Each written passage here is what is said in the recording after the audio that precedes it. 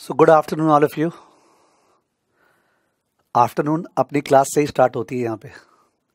Exactly twelve is the class का timing and from the afternoon begins okay afternoon is consider to be a sleeping period सही बोल रहा हूँ क्या? आपको बोलना चाहिए नो अब जगने का पीरियड है। मैं बहुत सुपर जोश में हूँ। होप कर रहा हूँ आप भी होंगे। For many people we are starting F M today बहुत जन नए ज्वाइन किए तो इन दैट केस हो सकता है चार छः साल, आठ साल बाद उनमें से कई जन फाइनेंशियल मार्केट्स में बहुत अच्छे पोजीशन पे या तो अपना खुद का कंपनी या किसी कंपनी में सी एफ़ ओ सी ई ओ के पोजीशन में बैठे होंगे। And they will reflect back on the first day that they ever started studying FM. It is that memory.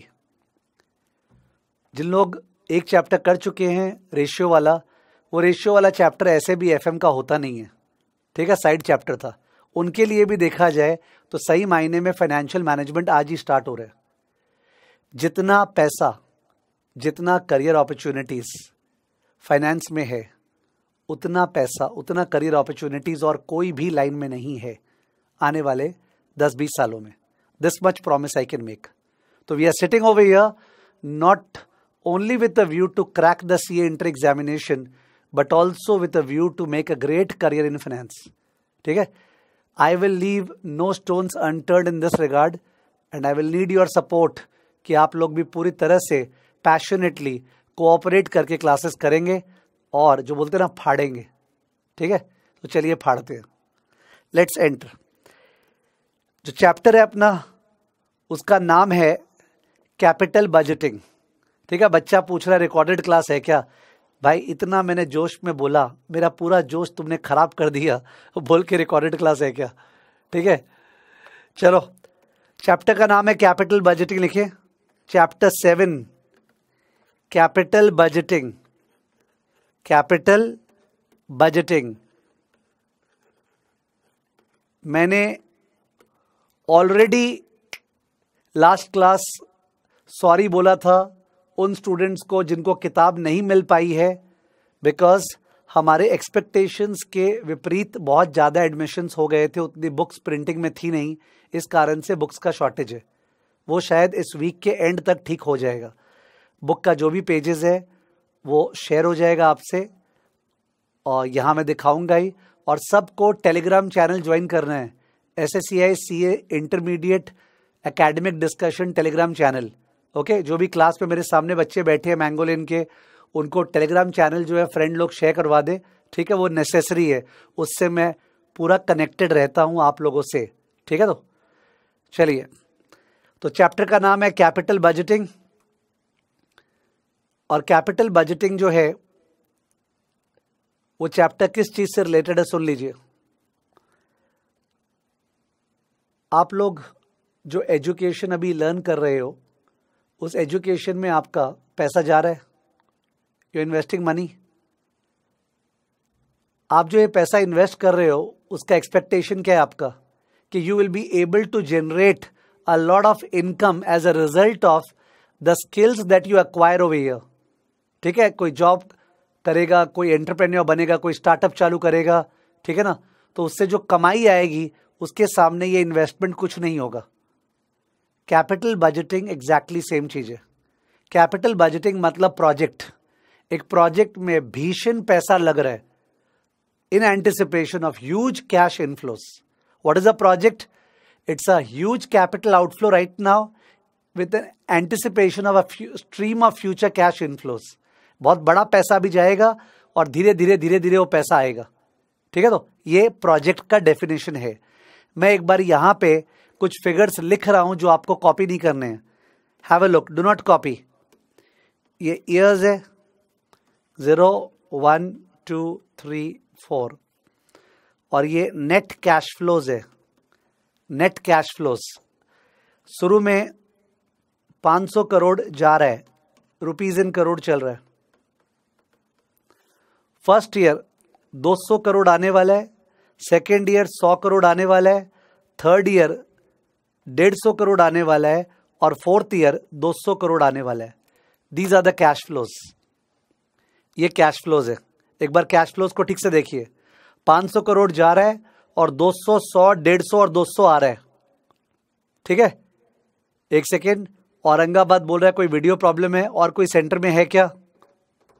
Because SFM में भी सुबह औरंगाबाद में वीडियो प्रॉब्लम थी। नहीं, और किसी में नहीं है। ठीक है?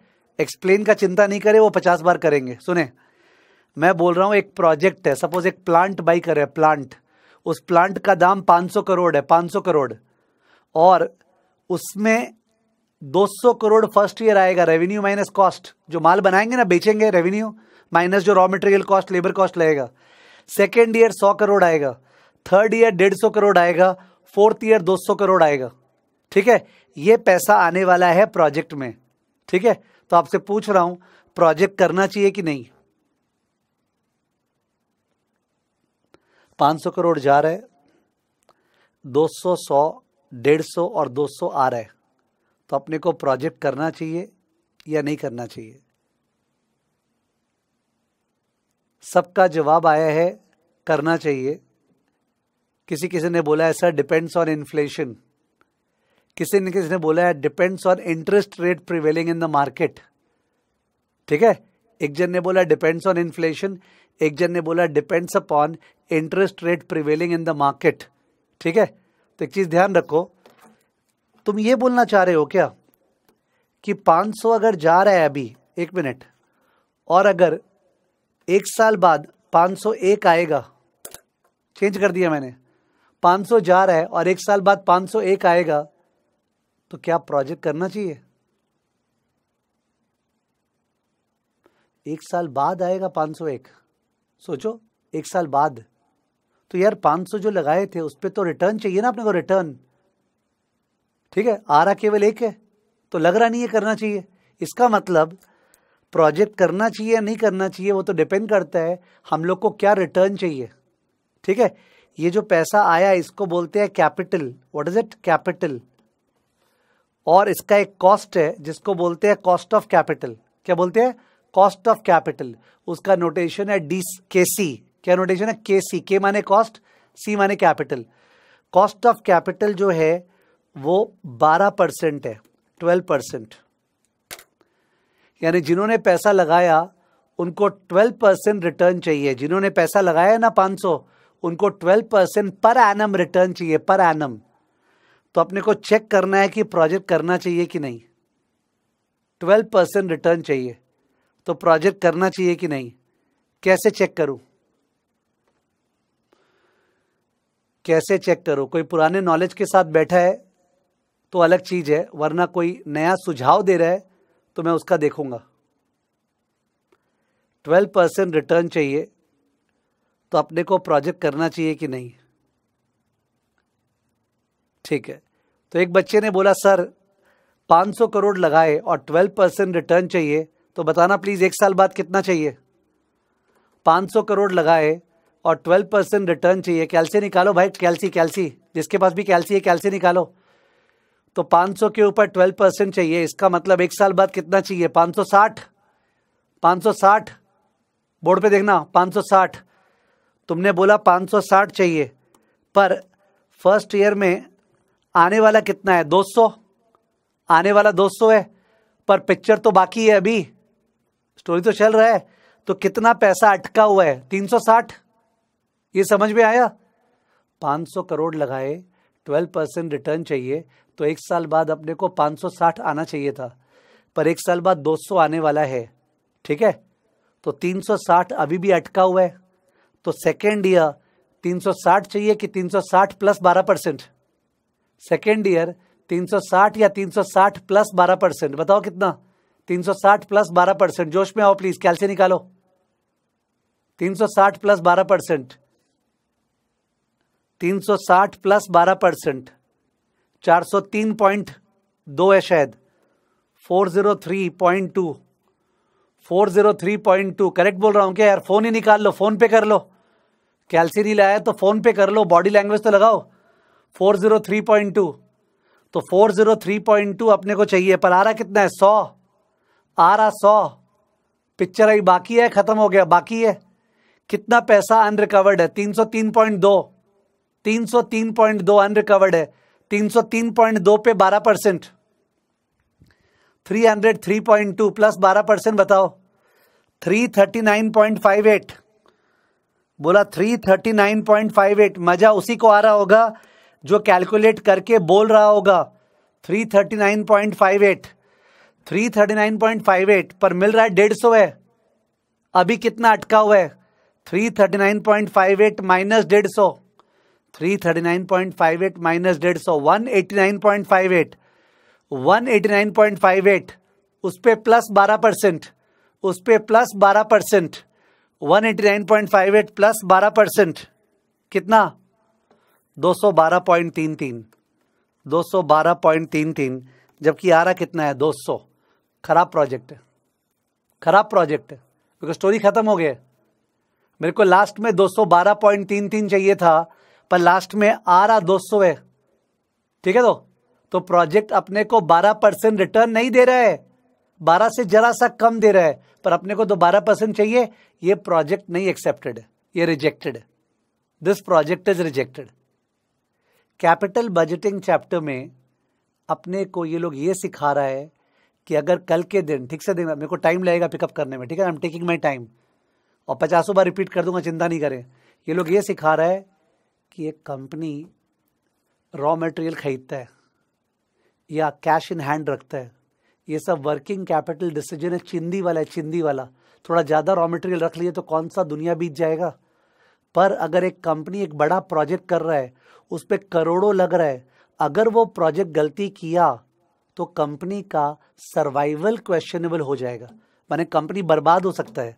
द कंपनी का existence will be question capital budgeting decision are very important they have long term implications ठीक है? And if they are successful they create wealth like anything create wealth का मतलब इन्फोसीज 1990s में चालू हुआ था। इन्फोसीज 1990s में चालू हुआ था और उसका शेयर जिसने दस रुपया पे खरीदा था, ठीक है, उसका वर्थ बीच में, अभी कुछ गड़बड़ हुआ वो अलग बात है, पर बीच में उसका वर्थ पचास करोड़, सौ करोड़ हो गया, यानी दस रुपया से पचास करोड़। उस तरह का कैसे हुआ? Because of good projects that Infosys did माने प्रोजेक्ट्स कैपिटल बजटिंग सबसे इंपॉर्टेंट चीज़ है कंपनी के लिए। तो प्रोजेक्ट कैसे चुना जाता है? सही है 200 कैसे आया? जो लिखा हो बोर्ड पे 200 कैसे आया? 100 कैसे आया? डेढ़ सौ कैसे आया? ये सारा इस चैप्टर में सिखाया जाएगा। This chapter is about how to decide whether a project should be accepted और रिजेक्टेड आप में से किसी किसी का हो सकता है फैमिली बिज़नेस हो, और वो फैमिली बिज़नेस मैन्युफैक्चरिंग से कनेक्टेड हो manufacturing plastic cement steel what उस बिज़नेस में अगर आप अपने पापा लोग से पूछेंगे दे विल टेल यू वो लोग काफ़ी बार नया प्लांट खोलते हैं। सपोज़ उड़ीसा में नया प्लांट खोले। करोड़ों रुपया का इन्वेस्टमेंट हुआ।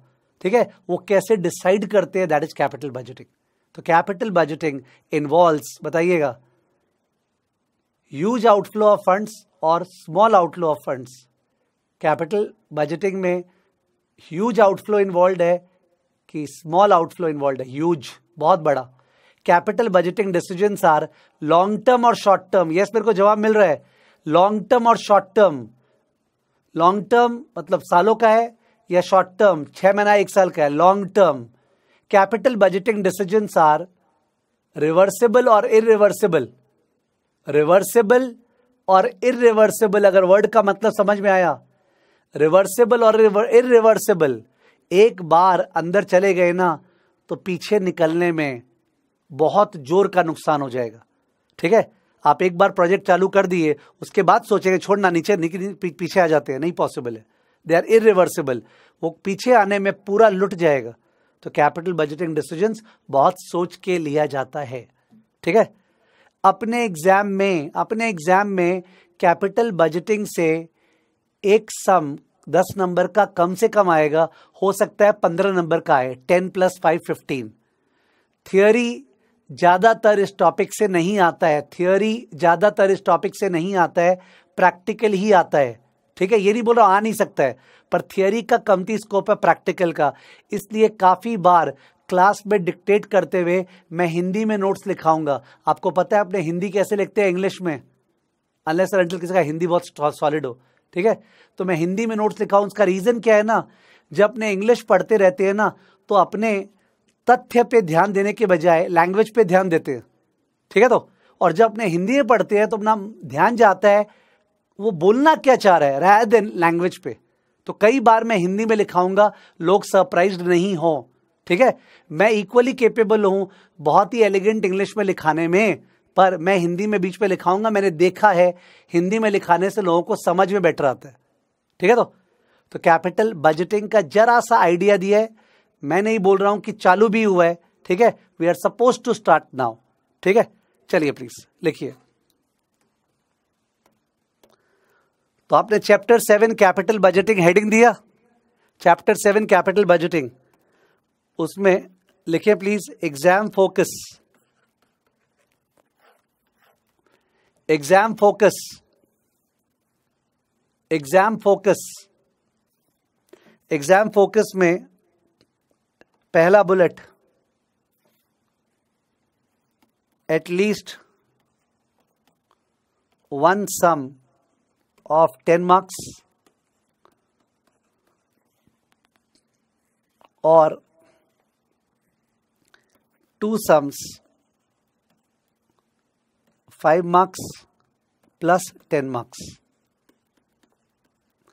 ये अपना एक्सपेक्टेशन है टॉपिक से। या तो एक सम आएगा दस नंबर का, और या फिर एक कंपलसरी सम आएगा पाँच नंबर का, और ऑप्शनल दस नंबर का। ठीक है? पाँच प्लस दस। शुरू का जो सम आता है, पाँच पाँच नंबर का चार सम वो कंपलसरी होता है तो वो आ सकता है, और उसके बाद एक ऑप्शनल सम दूसरा बुलेट दूसरा bullet actually there are two chapters actually there are two chapters capital budgeting बोलने में दो चैप्टर्स है। एक है कैपिटल बजटिंग जो मैं भी करा रहा हूँ। और दूसरा है रिस्क एनालिसिस एक है कैपिटल बजटिंग और एक है रिस्क एनालिसिस रिस्क एनालिसिस पहले सीए इंटर में नहीं था। मैंने आईपीसीसी में नहीं था। अभी जब सीए इंटर चालू हुआ ना, तब रिस्क एनालिसिस जो सीए फाइनल में था एसएफएम में, उसको वहाँ से हटा के यहाँ डाल दिया। समझ गए? तो रिस्क एनालिसिस नया चैप्टर ऐड किया है, पर डर के ऐड किया, डर के डर के वजह समझते हो? बच्चा लोग कैसे सहेगा? बाप रे। इसलिए उसका बहुत बिट्स एंड पीसेस लिया है। तो सेकेंड वाला चैप्टर बहुत ज़्यादा ईजी है बिकॉज़ ये लोग पूरी मात्रा में उसको लिया नहीं है। और फ़र्स्ट वाला चैप्टर बड़ा है। तो second is very easy first वाला is the big chapter that we have ठीक है ना okay third bullet involves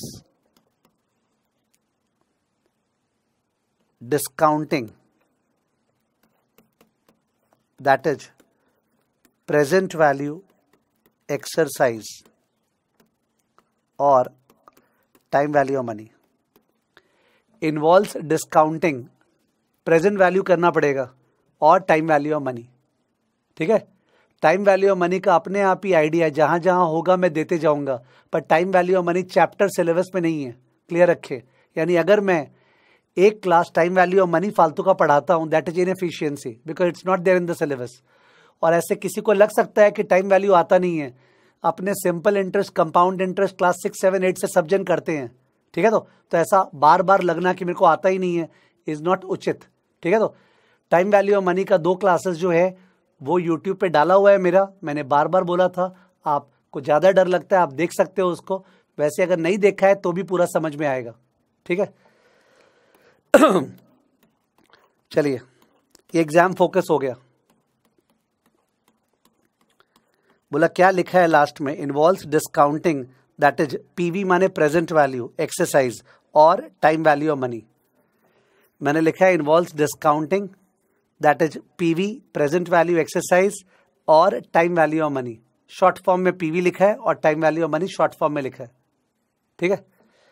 फिर, अब, लिखिए warm up heading warm up तो वार्म अप का तो मतलब यही होता है ना? चल चल, थोड़ा सा वार्म अप कर ले। चैप्टर में घुसने के बजाय तो वही कर रहे हैं वार्म अप ठीक है? तो वार्म अप मतलब लिखिए project dash huge outflow Rohtak centre जब से बोल रहा है, सर, एक रिक्वेस्ट है। बोल दो, क्या रिक्वेस्ट है? सुन लेता हूँ। बोल दो। बोल दे भाई, बोल दे। सबसे शेयर कर लेंगे हम लोग।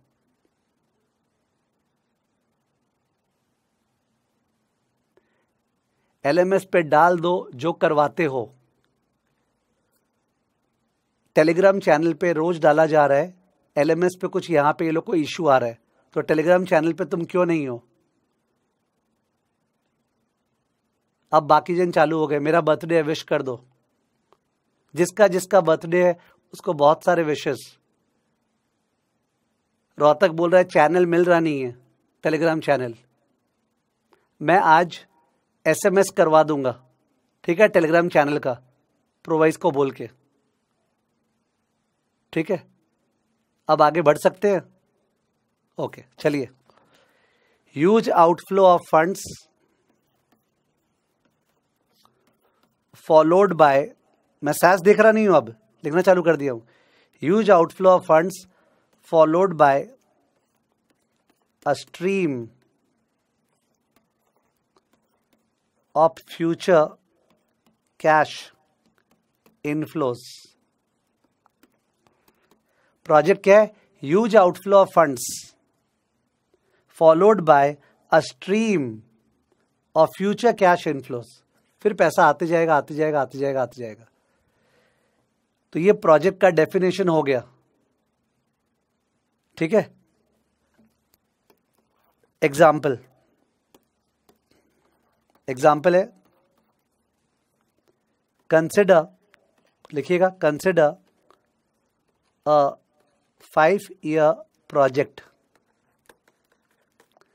consider a five year project बोल रहा स्ट्रीम का मतलब क्या होता है? स्ट्रीम का मतलब नदी, पैसे का नदी। ठीक है? एक बार पैसा लगाएँगे, फिर पैसे का बौछार होता रहेगा। बौछार, नदी, जो भी है, कि बार बार पैसा आएगा। Consider a five year project dash copy कीजिए years net cash flows rupees crore years और सेकेंड कॉलम लिखा है नेट कैश फ्लो किसी को फुल फॉर्म लिखना हो तो. कैश फ्लो को नेट नेट मतलब revenue minus cost net cash flow if you want to write the full form rupees crore में. Zero one two three four five zero माने आज वन माने फ़र्स्ट ईयर के एंड में two माने second year के end में third year के एंड में फोर्थ ईयर के एंड में फिफ्थ ईयर के एंड में. ठीक है ना? तो ज़ीरो में अपना हज़ार करोड़ जा रहे हैं. फ़र्स्ट ईयर तीन सौ करोड़ आने वाला है. सेकेंड ईयर दो सौ करोड़ आने वाला है। थर्ड ईयर सौ करोड़ आने वाला है। फोर्थ ईयर पाँच सौ करोड़ आने वाला है। फिफ्थ ईयर चार सौ करोड़ आने वाला है। सबसे पहला क्वेश्चन है कि सर ये फिगर्स कहाँ से आया? ये 300, 200, 100, 500, 400 निकाले कैसे? वो जो निकालना है वो एक पार्ट ऑफ़ द चैप्टर है कि ये कैसे निकलता है। ठीक है तो वो one part of the chapter अभी के लिए रेवेन्यू माइनस कॉस्ट जैसे हज़ार का प्लांट ना तो उससे जो प्रोडक्शन करके सेल करेंगे, उससे रेवेन्यू आएगा, और जो रॉ मटेरियल लेबर कॉस्ट लगेगा, वो रेवेन्यू माइनस कॉस्ट है, पर और डिटेल्स है उसके अंदर ऑब्वियसली ठीक है ना? तो ये प्रोजेक्ट का कैश फ्लोज है। अब cost of capital cost of capital का नोटेशन है केसी इक्वल टू चौदह परसेंट पर एनम इसका मतलब जिन्होंने पैसा लगाया, जिन्होंने पैसा लगाया ना हज़ार करोड़, उन लोग को चौदह परसेंट पर एनम रिटर्न चाहिए। जिन्होंने हज़ार करोड़ लगाया, उन लोग को पर एनम चौदह परसेंट चाहिए, वरना ये प्रोजेक्ट नहीं करना चाहिए। ठीक है? फोर्टीन परसेंट रिटर्न चाहिए। कॉस्ट ऑफ़ कैपिटल कैपिटल माने पैसा, उसका ब्याज, चौदह परसेंट। कोई इसको ब्याज समझ रहा है तो सही समझ रहा है। ठीक है? फिर।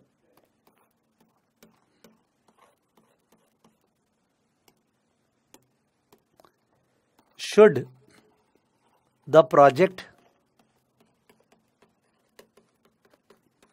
be accepted? Question mark. क्या इस प्रोजेक्ट को, क्या इस प्रोजेक्ट को एक्सेप्ट करना चाहिए कि नहीं? ठीक है? ये क्वेश्चन है। ज़ाहिर है चैप्टर पढ़ाई नहीं है वार्म अप हो रहा है वार्म अप ठीक है? कोई बच्चा पूछ रहा है सर ये एक्चुअल कैश फ्लोज है या एस्टिमेटेड है? तुम लोग बता दो। ये एक्चुअल कैश फ्लो इतना ही होगा कि एस्टिमेटेड है फोरकास्ट है।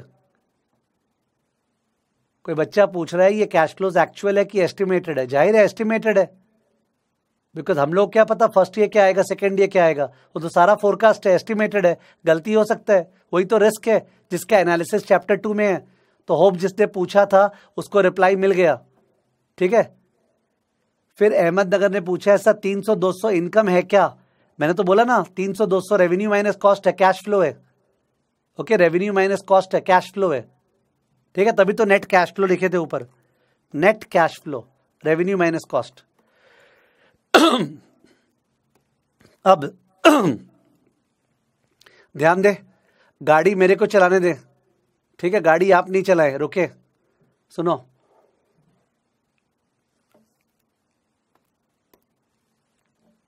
अगर अपने यहाँ खड़े ज़ीरो पे, और ये वन है डिस्कस हो रहा है, जो ध्यान देगा, उसको वापस से रिपीट रिपीट बोलना नहीं पड़ेगा। अगर कोई अमाउंट अपने यहाँ लगाते हैं से 250 और उस पर अपने को 14 परसेंट रिटर्न चाहिए। तो ये अमाउंट कितना बन जाना चाहिए, ये सबको निकालना आता है। 250 अगर लगा रहे हो और 14 परसेंट रिटर्न चाहिए तो 250 कितना बन जाना चाहिए सबको निकालना आता है। 240 forty into one point one four ना? 240 forty into one point one four कितना आ रहा है? Two fifty into one point one four sorry two fifty है ना sorry two fifty into one point one four कितना आ रही है? Two eighty five two eighty five आ रहा है। ठीक उल्टा। अगर टू एटी फाइव एक साल बाद आने वाला है और तुमको फोर्टीन परसेंट कमाना है टू एटी फाइव एक साल बाद आने वाला है और तुमको फोर्टीन परसेंट कमाना है तो आज तुम उसके बदले कितना इन्वेस्ट करने को तैयार हो? 285 डिवाइड बाय 1.14 ध्यान दे दो। ये जो ब्लू वाला पार्ट है, इसको बोलते हैं डिस्काउंटिंग और जो रेड वाला पार्ट है, उसको बोलते हैं कंपाउंडिंग जो ब्लू वाला पार्ट है ना, उसको बोलते हैं प्रेजेंट वैल्यू डिस्काउंटिंग और जो रेड वाला पार्ट है, उसको बोलते हैं फ्यूचर वैल्यू कंपाउंडिंग अपने ज़्यादा काम का डिस्काउंटिंग है डिस्काउंटिंग ठीक है? फरीदाबाद ने पूछा 1.14 वैल्यू है एक रुपए की। सही बोला? 1.14 का मतलब बता रहा है वो कि एक रुपया के बदले 1.14 चाहिए तो 250 के बदले कितना? 250 सौ पचास इंटू वन ठीक है? तो वैसे ही 285 आने वाला है तो वो 114 परसेंट है। तो मैं आज क्या लगाऊँगा? 285 डिवाइड बाय 1.14 ठीक है तो? तो अपने प्रेजेंट वैल्यू काम आने वाला है प्रेजेंट वैल्यू तब एक चीज़ बताइए, अगर और एक पैसा है जो यहाँ आने वाला है 300 उसको पीछे कैसे टाने? उसका मैथ्स बताना। 300 को पीछे कैसे टाने? 300 दो साल बाद आने वाला है, उसको 14 परसेंट से पीछे कैसे टाने, उसका मैथ्स बताना। अगर 300 दो साल बाद आने वाला है, उसको पीछे कैसे टाने, उसका मैथ्स दिखाना ना। 300 डिवाइड बाय क्या? वेट कर रहा हूँ। ओके तो बहुत जन ने बोला 1.14 1.14 दो बार, एकदम सही बोला। 1.14 स्क्वायर 1.14 स्क्वायर करना पड़ेगा ना बिकॉज़ पर एनम 14 परसेंट चाहिए। अपने को पर एनम 14 परसेंट चाहिए। ये तो दो साल बाद आ रहा है तो 1.14 स्क्वायर ठीक है? वैसे ही वैसे ही इस प्रोजेक्ट में, इस प्रोजेक्ट में ये जो 300 आने वाला है एक साल बाद, इसके बदले आज अपने कितना लगाने को तैयार है? 300 का प्रेजेंट वैल्यू बताना 14 परसेंट पे। 300 का प्रेजेंट वैल्यू 14 परसेंट पे बताना। 300 का प्रेजेंट वैल्यू 14 परसेंट पे। 263.15 पीपल सेड 263.15 करेक्ट है? 200 का प्रेजेंट वैल्यू बताना। 200 दो साल बाद आने वाला है। उसका प्रेजेंट वैल्यू बताना 14 परसेंट पे। जो भी पर्सन पार्टिसिपेट नहीं कर रहा, उसको खराब लगेगा। जो पार्टिसिपेट करा, उसको बढ़िया लगेगा। आप लोग करना है 200 डिवाइड बाय 1.14 स्क्वायर माने 1.14 से दो बार डिवाइड करना है। तो ये आ रहा है 153.89 ठीक है? उसके बाद 100 तीन साल पहले 100 तीन साल पहले request request please calculate you are going to destroy your experience of the class if you are just looking सौ तीन साल पहले 1.14 क्यूब से डिवाइड करना है। तो 67.49 करेक्ट है क्या? हाँ करेक्ट है। 67.49 504 साल बाद 504 साल बाद उसका प्रेजेंट वैल्यू 504 साल बाद उसका प्रेजेंट वैल्यू यानी 500 को आपको 1.14 से चार बार डिवाइड करना है। तो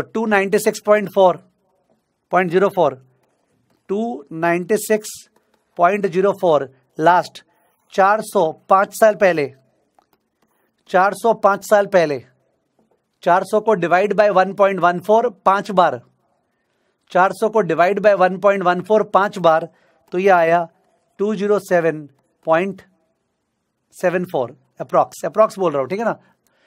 207.74 तो एक बार ध्यान देना, ये जो निकला सारा रेड वाला figures I need your full attention ये जो पूरा फिगर्स निकला, इतना पैसा इतना पैसा आज आप लगाने को तैयार हो करेक्ट चौदह परसेंट कमाने के लिए इतना पैसा आज आप लगाने को तैयार हो। फ़र्स्ट वाला 300 के बदले 263 सेकेंड वाला 200 के बदले 153 थर्ड वाला 100 के बदले 67 फोर्थ वाला 500 के बदले 296 और फिफ्थ वाला 400 के बदले 207 इसका टोटल क्या आ रहा है? इसका टोटल क्या आ रहा है? 263.15 plus 153.89 plus 67.49 plus 296.04 plus 207.74 okay people are saying 988 point कुछ आ रहा है 988 पॉइंट कुछ आया ये 988 पॉइंट कुछ को तुम लोग क्या नाम दोगे प्रेजेंट वैल्यू या फ्यूचर वैल्यू मैं तुमसे पूछ रहा हूँ I want to name it इसको प्रेजेंट वैल्यू बोलूँ या फ्यूचर वैल्यू क्या बोलूँ प्रेजेंट वैल्यू हम लोग पीछे टाने हैं ना प्रेजेंट वैल्यू प्रेजेंट वैल्यू तो सर हम लोग 988 इस प्रोजेक्ट में लगाने को तैयार हैं, पर लगाना कितना पड़ रहा है? हज़ार? ये तो खराब बात है। हम लोग 988 लगाने को तैयार है, लगाना पड़ रहा है हज़ार। ठीक है? प्रोजेक्ट घटिया है ना? ठीक है? तो क्या करते हैं? 988.3 में से हज़ार लेस कर देते हैं। 988.3 में से हज़ार लेस कर देते हैं और जो आता है, ये तो पीवी आया था, और जो आता है उसका नाम हो गया net present value 11.69 people are saying net present value negative आया है। नेट प्रेजेंट वैल्यू कितना उचित नाम है। प्रेजेंट वैल्यू करके उसमें से इनिशियल लेस तो क्या आ गया? Net net present value 11.69 since ये नेगेटिव आया है सिंस ये नेगेटिव आया है तो प्रोजेक्ट वायबल नहीं है। प्रोजेक्ट एक्सेप्टेबल नहीं है। प्रोजेक्ट को नहीं करना चाहिए, प्रोजेक्ट में चौदह परसेंट रिटर्न नहीं है। ठीक है तो? करना क्या है? कैश फ्लोज का पीवी करना है और पीवी करके उसमें से इनिशियल लेस करना है। ठीक है? तो जो आया उसको बोलते हैं एनपीवी। प्रेजेंट वैल्यू करके लेस करना है। उसको बोलते हैं एनपीवी। अगर मैं जितना भी कोशिश कर लूँ, मैं एक चीज़, टेन अपॉन टेन समझा नहीं पाऊँगा राइट नाउ पर आपको एक बार हिंट दे रहा हूँ, जिस पे बार बार बाद में विज़िट करूँगा। मेरे को पता है अपना लिमिटेशन मैं वो टेन अपॉइंट टेन बता नहीं पाऊँगा। वो ये कि एनपीवी में लास्ट वर्ड क्या है? एनपीवी में लास्ट वर्ड क्या है? वैल्यू और वैल्यू मतलब होता है वेल्थ ठीक है? तुम्हारे फैमिली का वेल्थ मतलब ज़मीन, जायदाद ज्वेलरी वगैरह सारा चीज़ मिला के हो सकता है बीस करोड़ होगा। पर पर मंथ या पर एनम तुम्हारा फैमिली कमाता है सपोज़ अठारह लाख। तो इनकम और वेल्थ सेम चीज़ है कि अलग चीज़ है अलग है। ठीक है? तो कोई भी बंदा जब एनपीवी को लॉस बोलता है ना सर लॉस 11.69 वो खराब चीज़ है। प्रॉफिट लॉस तो पीरियोडिक चीज़ होता है। ये वेल्थ है। क्या है ये? वेल्थ बोलने के पहले मैंने बोल दिया था, मैं टेन अपॉइंट टेन इसको नहीं समझा पाऊँगा। पहले से बोल दिया था। टेन अपॉइंट टेन नहीं बता पाऊँगा कि सर, ये इनकम क्यों नहीं है वेल्थ क्यों है, वगैरह वगैरह। It will take time for that level of maturity to come in but मेरा एक बार बताना ज़रूरी था, ये वैल्यू मेजर है, ये इनकम मेजर नहीं है। ठीक है तो इनकम तो एक तरह से ये है। फ़र्स्ट ईयर का इनकम तीन सौ revenue minus cost second year का इनकम दो सौ revenue minus cost third year का इनकम सौ रेवेन्यू माइनस कॉस्ट समझे? तो अगर आपको लगा कि सर वो वैल्यू वाला पॉइंट जो बोले ना, एक बार क्लिक तो करा दिए आप, पर पता नहीं उतना खुला नहीं तो please keep it at that level keep it at that level ठीक है? सम्स में वैसे पूछता भी नहीं है सम में बोलता है एनपीवी निकालो। क्या निकालो? NPV net present value present value करके इनिशियल लेस करना है। ये one of the most prominent methods है डिसाइड करने का कि प्रोजेक्ट एक्सेप्ट करें या रिजेक्ट करें। प्रोजेक्ट एक्सेप्ट करें या रिजेक्ट करें। एनपीवी एनपीवी ठीक है तो ध्यान रहे, ये वार्म अप चल रहा है। मैं जब एनपी बता रहा हूँ तो मैं ये नहीं बोला, मैंने एनपी के बारे में सारा दुनिया बता दिया तुमको। I will take my own time पर हाँ तुम ये एक्नॉलेज करो कि सर पिकअप हो गया, कि जो आने वाला है उसका प्रेजेंट वैल्यू माइनस इनिशियल ठीक है तो? ओके देखिए। क्वेश्चन पूछा था should the project be accepted question था should the project be accepted तो आपको लिखना है। तो आपको लिखना है। यार एक चीज़ समझो, एक कोई बोल रहा है कैल्सी का ट्रिक बताइए। एक साथ पचास चीज़ नहीं बता सकते। ठीक है तो? तभी तो जब लिखा रहे हैं तो एक चीज़ एक्स्ट्रा बताएँगे। मैंने मेरे को समय लगेगा बताने में। मैं एक बार कैल्सी बता दूँ लॉजिक भी बता दूँ, ये पॉसिबल नहीं है तो थोड़ा सा पेशेंट रहे। चलिए। सॉल्यूशन प्रोजेक्ट सॉल्यूशन चालू हो रहा है। Project will be accepted if it project will be accepted if it generates a return greater than greater than kc equal to 14% project will be accepted if it generates a return greater than kc equal to 14% kc क्या था याद है KC का full form cost of capital जो लोग पैसा लगाए, उनको कितना रिटर्न चाहिए? चौदह परसेंट। ठीक है तो? तो मैंने लिखा है प्रोजेक्ट तब एक्सेप्ट होगा अगर उसमें रिटर्न चौदह परसेंट से ज़्यादा है।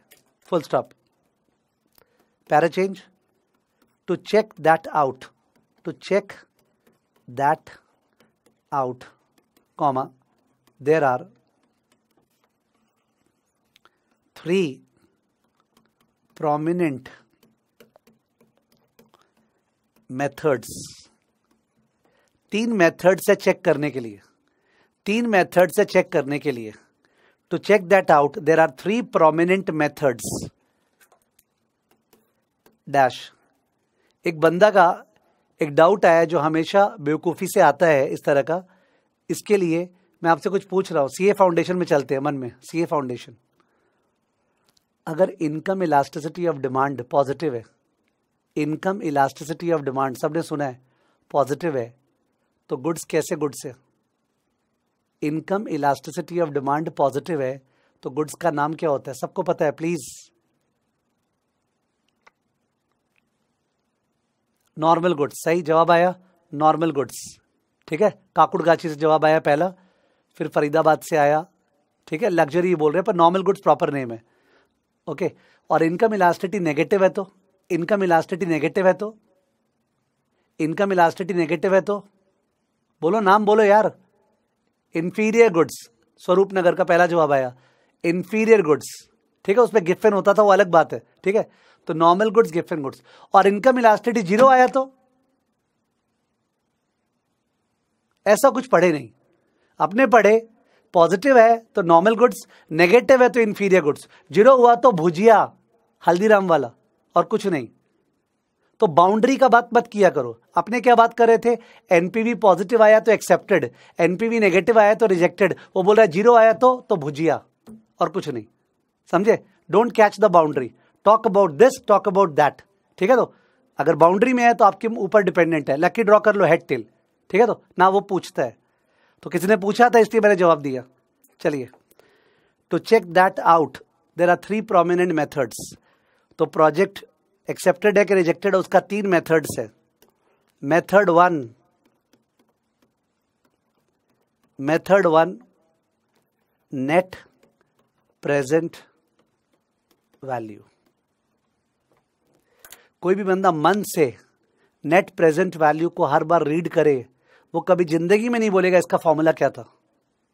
इसका फॉर्मूला कैसे हो सकता है? ये तो प्रेजेंट वैल्यू है, फिर माइनस करना है नेट एनीबडी बाद में थिंकिंग दैट यार एनपीवी याद दिया क्या फॉर्मूला था this is a very bad study माने वो बहुत बुरी तरीके की पढ़ाई है, अगर आपका वो नौबत आया तो। नेट प्रेजेंट वैल्यू के नाम में ही तो उसका अर्थ है। ठीक है ना? प्रेजेंट वैल्यू करके लेस करना इनिशियल करेक्ट है? चलिए। अब कैलकुलेट करते समय मैं शॉर्टकट बताऊँगा, जो बच्चा रिक्वेस्ट कर रहा था। Years cash flow net cash flow लिख दो sorry discounting factor at 14 percent present value चार कॉलम बनेगा. Years net cash flow discounting factor at fourteen percent और प्रेजेंट वैल्यू चार column years net cash flow discounting factor present value years में अपने one से बनाएँगे. ज़ीरो से ही बना सकते हैं, पर वन से बना रहे हैं, थोड़ा बेटर पिकअप होगा. तो क्या कैश फ्लो था आप लोग को दिख रही है अपने कॉपी में। तीन सौ, दो सौ सौ सौ और चार सौ। कॉपी किए। अब डिस्काउंटिंग फैक्टर जो है ना डिस्काउंटिंग फैक्टर उसका मतलब होता है एक रुपया का प्रेजेंट वैल्यू ओके प्लीज़ कैलसी वाइज सुनिएगा। एक रुपया का प्रेजेंट वैल्यू निकालना है मेरे को पाँच बार।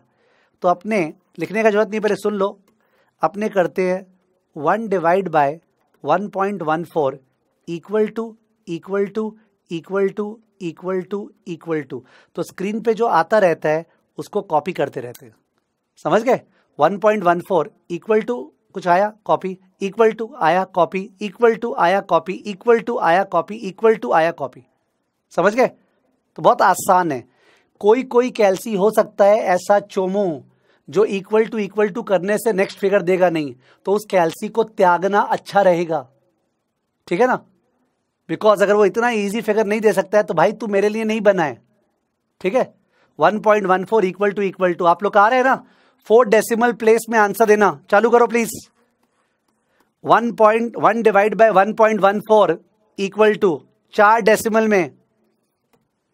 मेरे को तीन डेसिमल प्लेस में बोल रहे हैं लोग। Point eight seven seven one फिर से equal point eight seven seven two था। ओए, एक मिनट राउंडिंग ऑफ़ सब्जन सीखे बचपन से। प्लीज़ प्रॉपर राउंडिंग ऑफ़ के साथ बोले। एट सेवन सेवन वन के बाद पाँच के ऊपर था तो एट सेवन सेवन टू होगा ना? हाँ। Next equal to point seven six nine five equal to point बोलो नेक्स्ट वाला यार।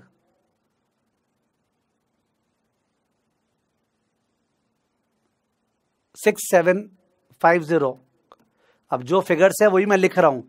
लास्ट डेसिमल प्लेस का फाइट हो सकता है।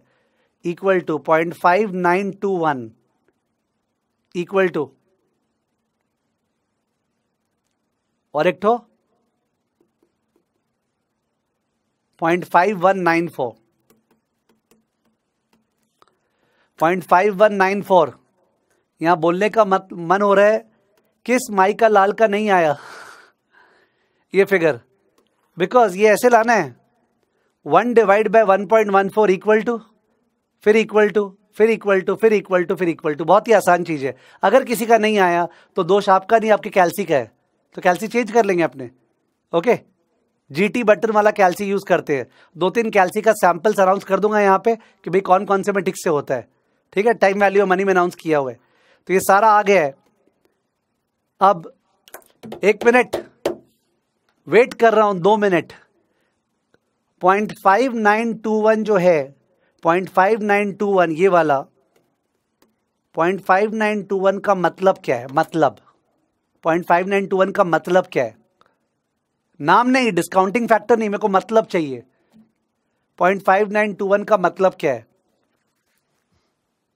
आपको टाइप करना पड़ेगा, point five nine two one का मतलब क्या है? यहाँ पे मेरे सामने मैंगो लेने बच्चे बैठे हैं, चिल्ला के बोले और जो जिसके पास वो कीबोर्ड है, वो टाइप करे, वरना कीबोर्ड पास करे। हाँ वन रूपी वन रूपी जो चार साल बाद आने वाला है वन रूपी जो चार साल बाद आने वाला है, उसके बदले आज पॉइंट फाइव नाइन देने तैयार है। वन रूपी जो चार साल बाद खड़ा है, उसके बदले पॉइंट फाइव नाइन देने तैयार है। तो अगर पाँच सौ खड़ा है चार साल बाद तो आज कितना देने तैयार है? पाँच सौ इंटू दैट समझो? एक रुपया अगर चार साल बाद है तो उसके बदले पॉइंट फाइव नाइन हम देने तैयार हैं। तो पाँच सौ अगर है, उसके बदले कितना? पाँच सौ इंटू पॉइंट फाइव नाइन। वरना बच्चा समझता ही नहीं इंटू क्यों कर रहे यूनिटरी मेथड एक रुपया के बदले पॉइंट फाइव नाइन तो बता पाँच सौ के बदले कितना?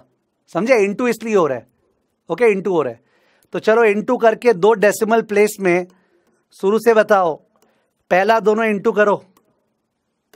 This into this three hundred into point eight seven seven two two sixty three point one six two decimal में. टू डेसिमल में. नेक्स्ट वाला.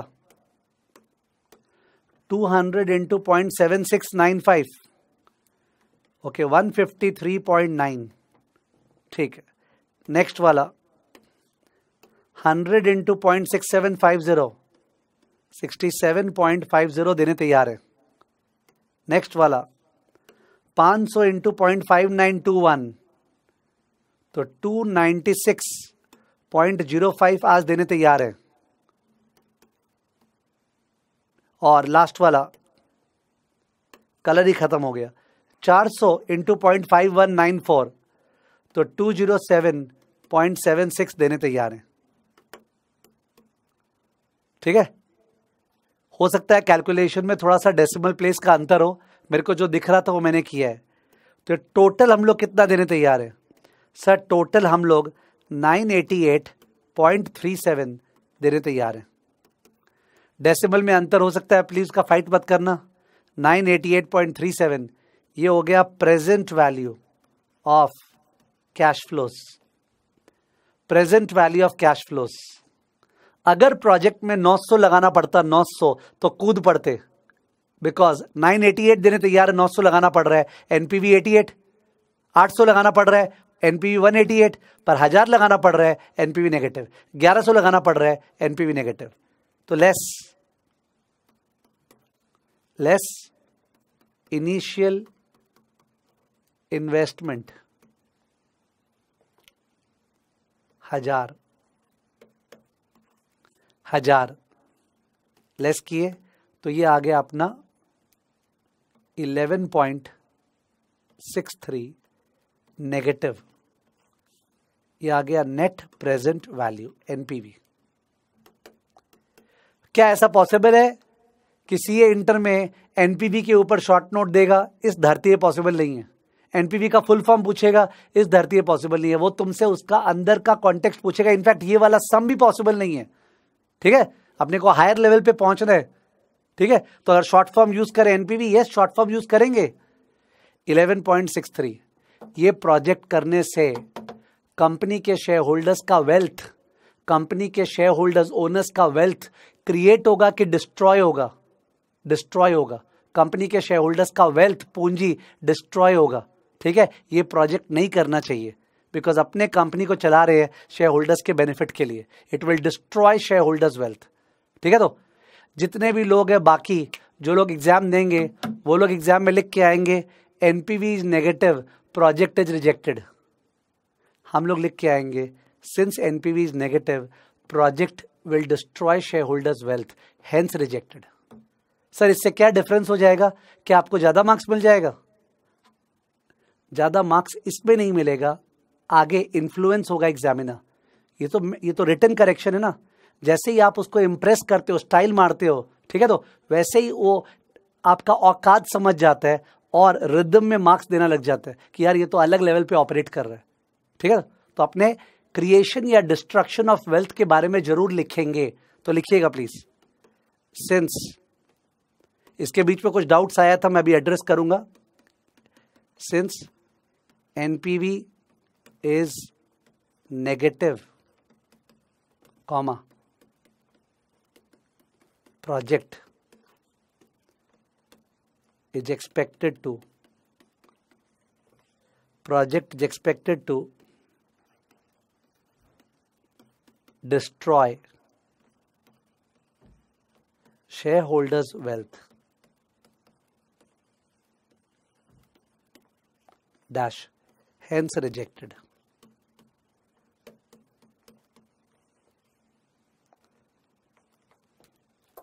Since NPV is negative, project is expected to destroy shareholders' wealth. Dash, hence rejected. Hence rejected. अगर positive आता तो हम लोग destroy के बदले क्या लिखते हैं क्रिएट है ना अब एक बच्चा पूछ रहा था कि डिस्काउंटिंग फैक्टर का नाम डिस्काउंटिंग फैक्टर क्यों पड़ा वैसे तो फालतू क्वेश्चन है बट फिर भी मन में आना स्वाभाविक है डिस्काउंट जब बोलते हैं डिस्काउंट कोई चीज़ को डिस्काउंट इसका मतलब कमती हो जाता ना। कोई माल खरीदने जाओगे और उस पर डिस्काउंट होगा, दस परसेंट तो कम हो जाएगा। तो अपने जब प्रेजेंट वैल्यू करते हैं, तब अमाउंट तो कम हो जाता है। तीन सौ का present value two sixty three दो सौ का वन फिफ्टी थ्री तो एक रुपया कितना? Point seven six nine five तो नाम पड़ गया डिस्काउंटिंग फैक्टर बिकॉज़ ब्याज हट रहा है उसमें से। ब्याज हट के पॉइंट सेवन थ्री प्रिंसिपल बच रहा है। उसको बोलते हैं डिस्काउंट ठीक है? फोर्टीन परसेंट कैसे निकलेगा? बेटा, वहाँ पहुँचे नहीं है, ठीक है? हर चीज़ एक साथ नहीं कर सकते कि अभी तुरंत वो भी बता दे, यही बता दे, ठीक है? तो तो we have to wait for it next method two method two method two method two है प्रॉफिटेबिलिटी मैंने ऐसा नहीं बोला कि एनपीवी खत्म हो गया अपना। आई नेवर सेट दिस ये वार्म अप चल रहा है। तो कोई भी टीचिंग स्टाइल को समझेगा नहीं तो वो इवेल्युएट नहीं कर पाएगा कि यार एनपीवी में तो और कुछ नहीं बताए। Wait profitability index bracket PI profitability index bracket PI Sangrur center मेरा बड़ाई कर रहा है। बोल रहा है कुछ भी समझ में नहीं आ रहा है। बहुत दुखी हुआ मैं ये जान के, क्योंकि ये कैलकुलेशन पहले अपने, ये कैलकुलेशन पहले अपने आपके हेल्प से कर लिए थे। यहाँ पे ऑलरेडी टाइम इन्वेस्ट किए थे, लोग पार्टिसिपेट किए थे। और उसके बाद जाके अपने वापस से यहाँ पे टेबल में बना के कैलकुलेटर का स्टेप्स दिखा के ओके किए। तो आई डोंट नो मतलब मैं क्या करूँ उसके लिए, मेरे को मेरे को नहीं समझ में आ रहा है। I am really sorry Sangrur center कि मैं इनकेपेबल हूँ, इससे बेटर समझाने में अभी राइट नाउ ठीक है तो? तो मेरा दोष है आपका दोष नहीं है। चलिए। प्रॉफिटेबिलिटी इंडेक्स तो आई वॉज़ टेलिंग यू कि प्रॉफिटेबिलिटी इंडेक्स कितना आसान चीज़ है ठीक से सुनिएगा। पे अटेंशन इस प्रोजेक्ट में हज़ार करोड़ लगाने से प्रेजेंट वैल्यू 988 आ रहा है। आई रिपीट इस प्रोजेक्ट में हज़ार करोड़ लगाने से प्रेजेंट वैल्यू 988 आ रहा है तो एक रुपया लगाने से प्रेजेंट वैल्यू क्या आ रहा है? हज़ार करोड़ लगाने से 988 आ रहा है तो एक रुपया लगाने से क्या आ रहा है? Point nine eight eight obvious है। ठीक है तो हज़ार करोड़ लगाने से नाइन एटी एट आ रहा है तो एक रुपया लगाने से पॉइंट नाइन एट एट आ रहा है। ठीक है तो ये जो एक रुपया लगाने से पॉइंट नाइन एट एट आ रहा है मतलब एक रुपया से कम आ रहा है, एक रुपया लगाने से एक रुपया से कम आ रहा है वो जो आ रहा है उसको बोलते हैं प्रॉफिटेबिलिटी इंडेक्स मैंने कितना आसान हो गया। एनपीवी में प्रेजेंट वैल्यू करके इनिशियल लेस कर रहे हैं। प्रॉफिटेबिलिटी इंडेक्स में प्रेजेंट वैल्यू से इनिशियल डिवाइड कर रहे हैं। एनपीवी में अपने प्रेजेंट वैल्यू में से इनिशियल लेस कर रहे हैं। प्रॉफिटेबिलिटी इंडेक्स में प्रेजेंट वैल्यू में इनिशियल डिवाइड कर रहे हैं। डिवाइड रेशियो निकाल रहे रेशियो ठीक है it's called ratio NPV is an amount profitability index a ratio ठीक है? आप खुद सोचो, अगर मैं कर रहा हूँ ए माइनस बी सब जन प्लीज़ ध्यान दो ए माइनस बी पॉजिटिव आया, और फिर करूँगा ए बाय बी तो मोर देन वन आएगा ना? अगर ए माइनस बी पॉजिटिव है तो ए बाई बी तो मोर देन वन आना ही है तो मैथ्स है दुनिया का, ठीक है? ये जो ए माइनस बी है, ये क्या है? एनपीवी और ये जो ए बाई बी है, ये क्या है? पी आई ये क्या है? पी आई ठीक है? अगर ए माइनस बी नेगेटिव आया तो ए बाई बी क्या आएगा? लेस देन वन तो प्रोजेक्ट का एक्सेप्ट और रिजेक्ट समझे? अगर profitability index more than one है तो accepted profitability index less than one है तो क्या? रिजेक्टेड पर अगर तुम बहुत बुद्धिमान स्टूडेंट हो तो तुमको ये लगेगा कि सर, ये टाइम पास चल रहा है क्या? क्यों? क्योंकि ऑलरेडी तो ए माइनस बी निकाल के आपने डिसाइड कर लिया ना एक्सेप्टेड या रिजेक्टेड फिर आप वापस से रेशियो निकाल के हमारा टाइम पास कर रहे हैं। Think about it it is a time pass already A minus B से डिसीज़न हो गया है, फिर जान जानबूझ के रेशियो निकाल के अलग तरीके से बोल रहे हैं। बट इसका कोई रीजन है ठीक है? कि A by B profitability index भी कभी कभी अलग से काम आता है। वो रीजन आज ही बता दूँगा। ठीक है? वो रिपीट भी होगा बाद में non warm up normal section में बट एक बार अभी जो लिख रहे हैं ना नोट्स वार्म अप में, उसमें तुरंत अभी नहीं बता रहा हूँ। I will come to it कि ए बाई बी निकालने का फिर तात्पर्य क्या हुआ? लिखिए। तो प्रॉफिटेबिलिटी इंडेक्स का और एक नाम है। वो दूसरा नाम मेरे को बढ़िया लगता है बिकॉज़ स्टूडेंट को फॉर्मूला याद हो जाता है और benefit cost ratio okay I like this name benefit cost ratio benefit cost ratio, in fact और एक नाम है इसका,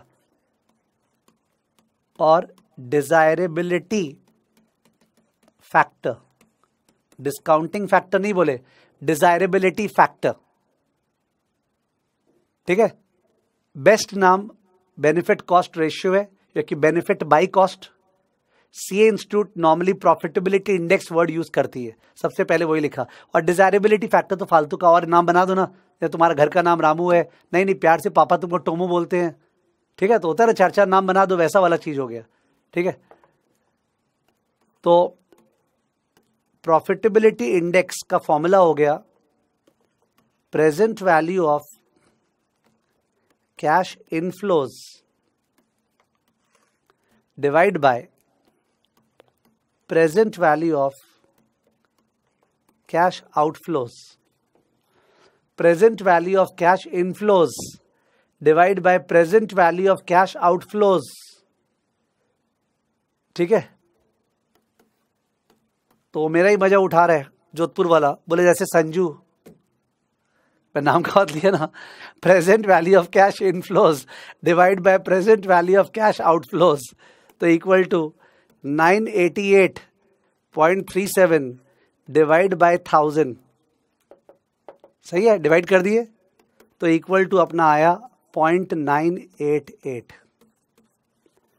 point nine eight eight अगर ये लेस देन वन आया मतलब एनपीवी नेगेटिव था, तभी तो आया लेस देन वन तो अगर ये लेस देन वन है तो रिजेक्टेड मोर देन वन है तो एक्सेप्टेड इसका कट ऑफ़ वन है। वन के ऊपर वन से नीचे, और ये मत पूछना वन पे क्या करेंगे। ठीक है? डायलॉग हो चुका है। वन के ऊपर एक्सेप्टेड वन के नीचे रिजेक्टेड लिख दो।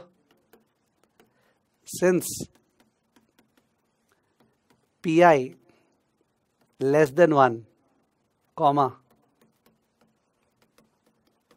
project is rejected. Since pi less than 1, comma project is rejected. Project is rejected. इसको बोलते हैं प्रॉफिटेबिलिटी इंडेक्स किसी स्टूडेंट की अगर क्लिक हुआ तो बताना एक प्रोजेक्ट है, एक प्रोजेक्ट है जिसमें 600 करोड़ लग रहा है। देख रहा हूँ क्वेश्चन देख लो, सुन लो। 600 करोड़ लग रहा है और उसका P I one point four है। तो उसका एनपीवी क्या है? एक प्रोजेक्ट में 600 करोड़ लग रहा है। उसका प्रॉफिटेबिलिटी इंडेक्स 1.4 है। तो एनपीवी क्या है? 840 रॉन्ग आंसर है। 840 रॉन्ग आंसर है।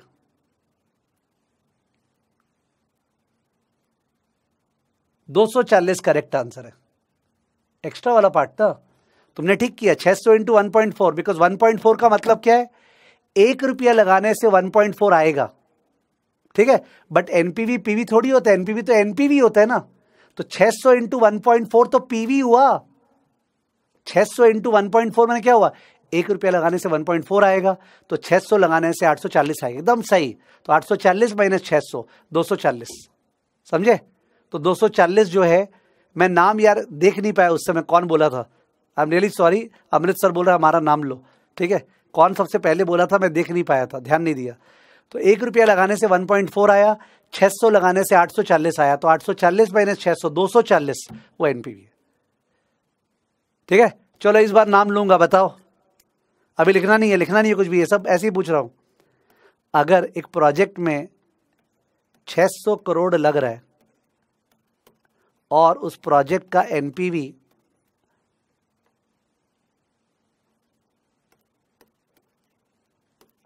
माइनस सौ करोड़ है तो पीआई कितना है?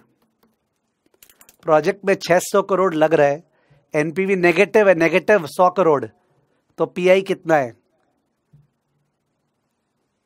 1.2 रॉन्ग आंसर है। Point eight three two three शायद चूरू ने सबसे पहले दिया था। मेरे ख्याल से वो करेक्ट आंसर है। फिर उसके एक सेकेंड बाद ही सबने दे दिया। तो ऐसा कोई फ़र्स्ट सेकेंड प्राइज का बात नहीं है। ठीक है? Point eight three three three जो है, वो सबने ही दिया। ठीक है? मेरे को पहले नाम यहाँ पे चूरू नज़र आया था।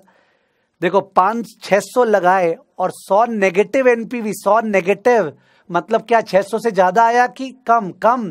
कितना आया? पाँच सौ। पाँच सौ आया। तो प्रॉफिटेबिलिटी इंडेक्स क्या होता है? जो आया बाई जो गया, पाँच सौ बाई छह सौ point eight three three point eight three three समझे? पाँच सौ बाई छह सौ पॉइंट एट थ्री थ्री इसका मतलब एक बात पक्का है, तुम लोग को एनपीवी से पीआई और पीआई से एनपीवी निकालना आ गया है। विदाउट फॉर्मूला दिए हुए। एक और ट्राई कर लो।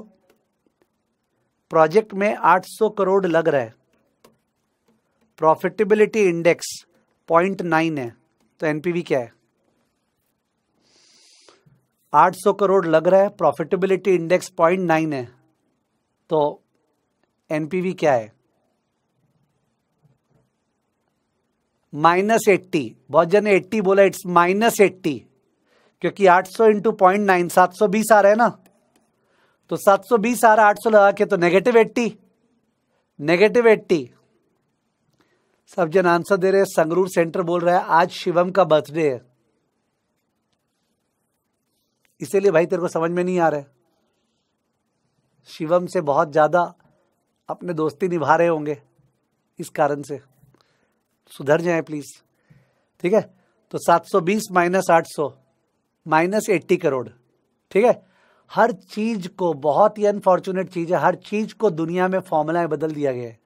अब इसका फॉर्मूला क्या लिखा हुआ है सुनो, और जो कि बहुत सारे बच्चों को अच्छा लगेगा। हाँ यार, इतना माथा लगाना पड़ा, शांति, चल अच्छा है। It is a very very bad attitude although मैं भी लिखाऊँगा बिकॉज़ मैं चाहता हूँ बच्चा कम से कम एग्ज़ाम में तो पास हो, बुद्धि लगा रहे तो। क्या हो गया? Point nine minus one the whole into आठ सौ इससे आंसर आएगा ना? Point nine minus one the whole into आठ सौ यानी फॉर्मूला क्या हो गया? P I minus one the whole into initial investment. ठीक है? कुछ लोग खिल गए होंगे। मज़ा आ गया ही तो चाहिए था। पीआई में से minus one the whole into initial दिमाग ही नहीं लगाना पड़ रहा यार। दिमाग से इतना प्यार। मैंने खर्च हो जाएगा तो इतना प्यार उससे। तो लिखाऊँगा तो मैं भी, ठीक है? But I would wish that काश आप लोग पीआई से एनपीवी एनपीवी से पीआई विदाउट फॉर्मूला सोचो। अपने कहाँ तक लिखे थे नोट्स इसको लिख के मैं एक बार मैंने ये वाला एंड करके मैं एक बार ब्रेक दूँगा, ठीक है, दस मिनट का। संगरूर को चाहिए बर्थडे बनाने और भी मॉडल टाउन में एक बर्थडे बन रहा है, ठीक है। P I less than one project is rejected लिखना। P I shows the benefit language पे ध्यान दो। PI shows the benefit per rupee of funds invested in the project. PI का मतलब क्या? Benefit per rupee of funds एक रुपया से क्या बेनिफिट है? Invested in the project PI का इंटरप्रिटेशन है। Para change conversion formula NPV equal to क्या फॉर्मूला था? NPV equal to P I minus one the whole into initial investment एक मिनट लक्ष्मी नगर ने बोला रिपीट कर दो। मैंने बोला पीआई का मतलब होता है benefit per rupee of funds जैसे पॉइंट नाइन एट एट आया। मतलब एक रुपया लगाने से पॉइंट नाइन एट एट आ रहा है। हर एक रुपया से क्या बेनिफिट है? जबकि एनपीवी क्या था? हज़ार करोड़ लगा के क्या बेनिफिट है? पीआई क्या है? एक रुपया से क्या बेनिफिट है? तो पीआई ये दिखाता है। पीआई शोज़ द बेनिफिट पर रुपया ऑफ़ फंड्स कन्वर्जन फॉर्मूला जो अपने डिस्कस कर रहे थे PI minus one the whole into initial investment और मैं इस फॉर्मूला को रेकमेंड नहीं कर रहा हूँ। मेरे ख्याल से अपने, जब विदाउट फॉर्मूला कर रहे थे, आपका दिमाग ज़्यादा तेज चल रहा था। पर प्रैक्टिस ज़्यादा नहीं हुआ प्रैक्टिस ज़्यादा नहीं हुआ जब अपने ब्रेक की तरफ़ जा रहे हैं, उस बीच में आपको गूगल पे दो चीज़ पता लगाना है ओके कि जो लालू है ना, लालू लालू लालू, मैं पूछने वाला लालू की कितनी वाइफ है कि तो है हाँ। लालू के कितने बच्चे हैं? लालू के कितने बच्चे हैं? ठीक है? और ये जो अपना उसामा बिन लादिन था ना, उसामा बिन लादिन, उसकी कितनी वाइफ थी और कितने बच्चे थे? ठीक है? ये अपने काम आएगा अभी एनपीवी और पीआई में। लालू की एक वाइफ है, कितने बच्चे हैं? और उसामा जो है, उसकी कितनी वाइफ थी और कितने बच्चे थे? एनपीवी और पीआई टोटली उस पर डिपेंडेंट है। ठीक है? चलिए तो अपने एक बज के आठ मिनट हुआ है एज पर द सैस अपने मिलते हैं एक बज के पंद्रह मिनट पे, एक बज के पंद्रह मिनट लालू ओसामा गूगल कर लें।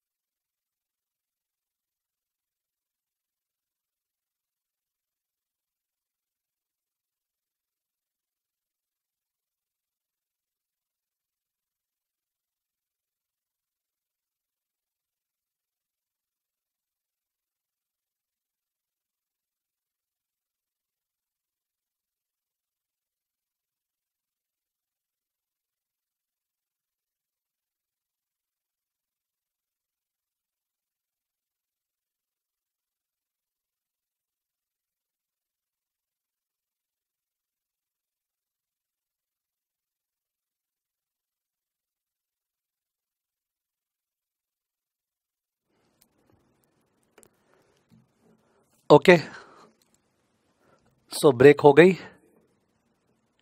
तीन चार टिप्पणियाँ थी यहाँ पे. एक तो लक्ष्मी नगर सेंटर मेरे को फिर से मेथड टू रिपीट करने बोले. वो अपने अलग एग्ज़ाम्पल में अभी रिपीट कर लेंगे डोंट वरी और फरीदाबाद सेंटर ने लिखा we don't interfere with anybody's personal life बाप रे बाप. Who is interfering but to explain something अगर पॉपुलर पर्सनैलिटीज जैसे राहुल गांधी, मोदी, अमित शाह, किसी का भी नाम लेना पड़ता है तो we do take our purpose is not to disrespect somebody but to just use them because that just brings that connectivity ठीक है? तो आपको डिसेंसी का लेक्चर मेरे को देना नहीं पड़ेगा। मेरे को पता है मैं पर्सनल लाइफ पे कितना डिसेंट हूँ। और जहाँ तक जो नंबर्स का बात है अलग अलग नंबर्स आए हैं, उस पर अपने दो मिनट बाद जाएँगे। जस्ट स्टे विथ मी तो अपने कर रहे थे प्रॉफिटेबिलिटी इंडेक्स ठीक है? आप लोग एक बार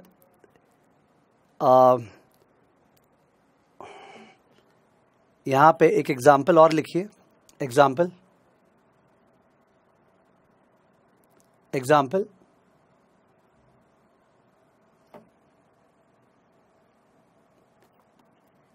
in a project तो लक्ष्मीनगर सेंटर इस एग्ज़ाम्पल से आपको हेल्प होगा, ध्यान दें। In a project comma sorry dash in a project dash initial investment equal to 600 crore. In a project initial investment equal to 600 crore.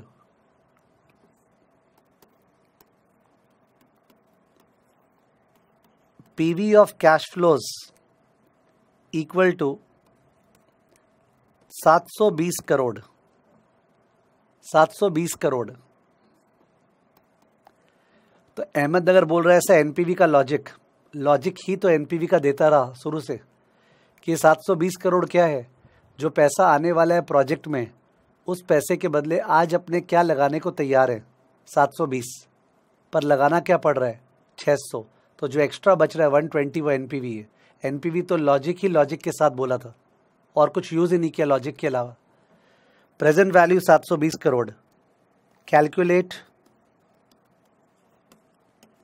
NPV and PI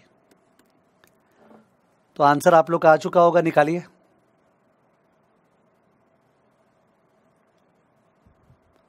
बहुत ख़राब बात है, किसी ने माइनस वन ट्वेंटी लिखा है एनपीवी बहुत ज़्यादा ख़राब बात है। मैं सेंटर का नाम नहीं ले रहा हूँ। बाकी सब जन ने सही लिखा है। एनपीवी जो है, वो है 720 माइनस छः सौ, एक सौ बीस, और पीआई जो है, वो 720 बाई छः सौ, वन पॉइंट टू। सॉल्यूशन मेरा पर्पस क्वेश्चन का इंटरप्रिटेशन समझाना है, वो मैं समझाऊँगा। NPV is equal to 720 minus छः सौ इक्वल टू एक सौ बीस।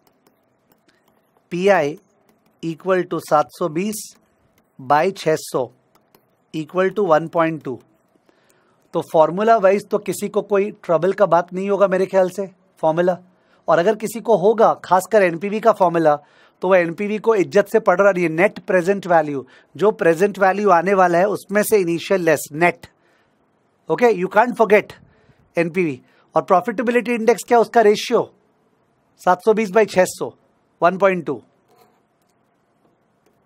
एनपीवी का लॉजिक फिर से रिपीट करने बोलो। वही तो बोला, एनपीवी का मतलब अपने जो पैसा लगा रहे हैं, उसमें जो आने वाला है, उसका आज प्रेजेंट वैल्यू क्या है? बिकॉज़ जो पैसा लग रहा है, वो तो आज लग रहा है, और जो आने वाला वो तो फैला हुआ है।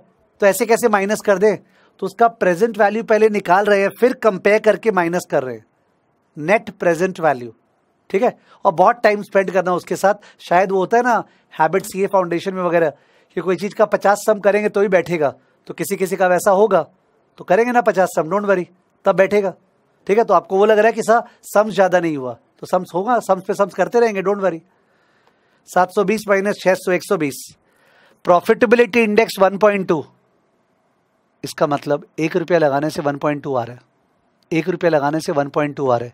एनपीवी 120 का मतलब 600 लगाने से 120 एक्स्ट्रा आ रहा है।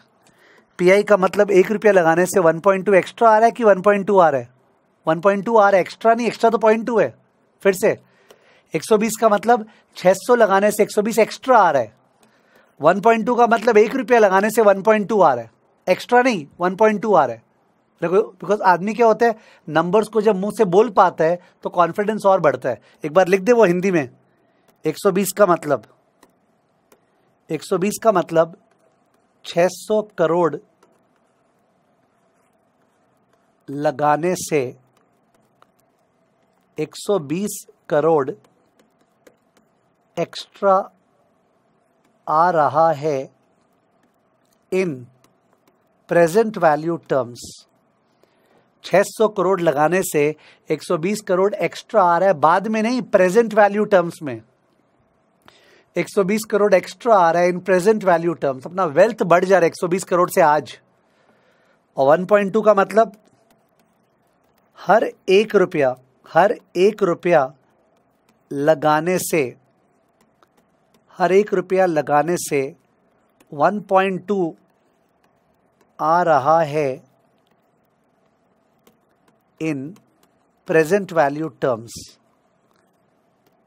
In present value terms. हर एक रुपया से 1.2 आ रहा है in present value terms.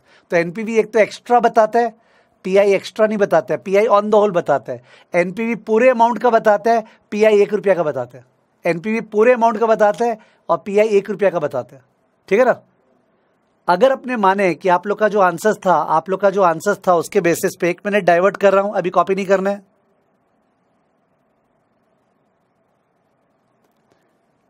Lalu, Usama discuss हो रहा है। वाइफ चिल्ड्रन वन और बोल रहे थे नौ, ग्यारह, मेरे को पता नहीं चल रहा कितना, ग्यारह मान लेता हूँ। ठीक है, अपने उतना रिसर्च नहीं कर रहे। ओसामा का फाइव और छब्बीस मान रहे हैं। इस पर डिस्प्यूट हो भाई तो प्लीज़ मैं डिस्प्यूट में नहीं जा रहा हूँ कि एग्जैक्ट नंबर क्या है। तो लालू का एनपीवी क्या है? लालू का एनपीवी क्या है? Eleven minus one equal to ten अब वो सब मत बोलना, सब प्रेजेंट वैल्यू नहीं किए। अपने मोटा मोटी चीज़ समझ रहे हैं। ओसामा का क्या है? छब्बीस माइनस पाँच, इक्कीस। माइनस करे ना। और पीआई निकाले पीआई तो लालू का क्या है? ग्यारह बाई एक, ग्यारह। इसका छब्बीस बाई पाँच कितना? Five point two. Five point two. किसका एनपीवी ज़्यादा है? किसका एनपीवी ज़्यादा है? ओसामा का। किसका प्रॉफिटेबिलिटी इंडेक्स ज़्यादा है? लालू का। मतलब मैं बता नहीं पा रहा था कि प्रॉफिटेबिलिटी इंडेक्स दुनिया में आया ही क्यों। एक्चुअली ज़रूरत नहीं था। NPV positive PI more than one NPV negative PI less than one profitability index क्यों आया? क्योंकि जब तुमको दो प्रोजेक्ट कंपेयर करना पड़ेगा, दो प्रोजेक्ट कंपेयर करना पड़ेगा, इन दोनों में से कौन सा ले? दोनों पॉजिटिव एनपीवी है, दोनों में से कौन सा ले? वहाँ पे दिक्कत आएगा। एक प्रोजेक्ट के लिए हमको पीआई का दरकार ही नहीं है एनपीवी काफ़ी है।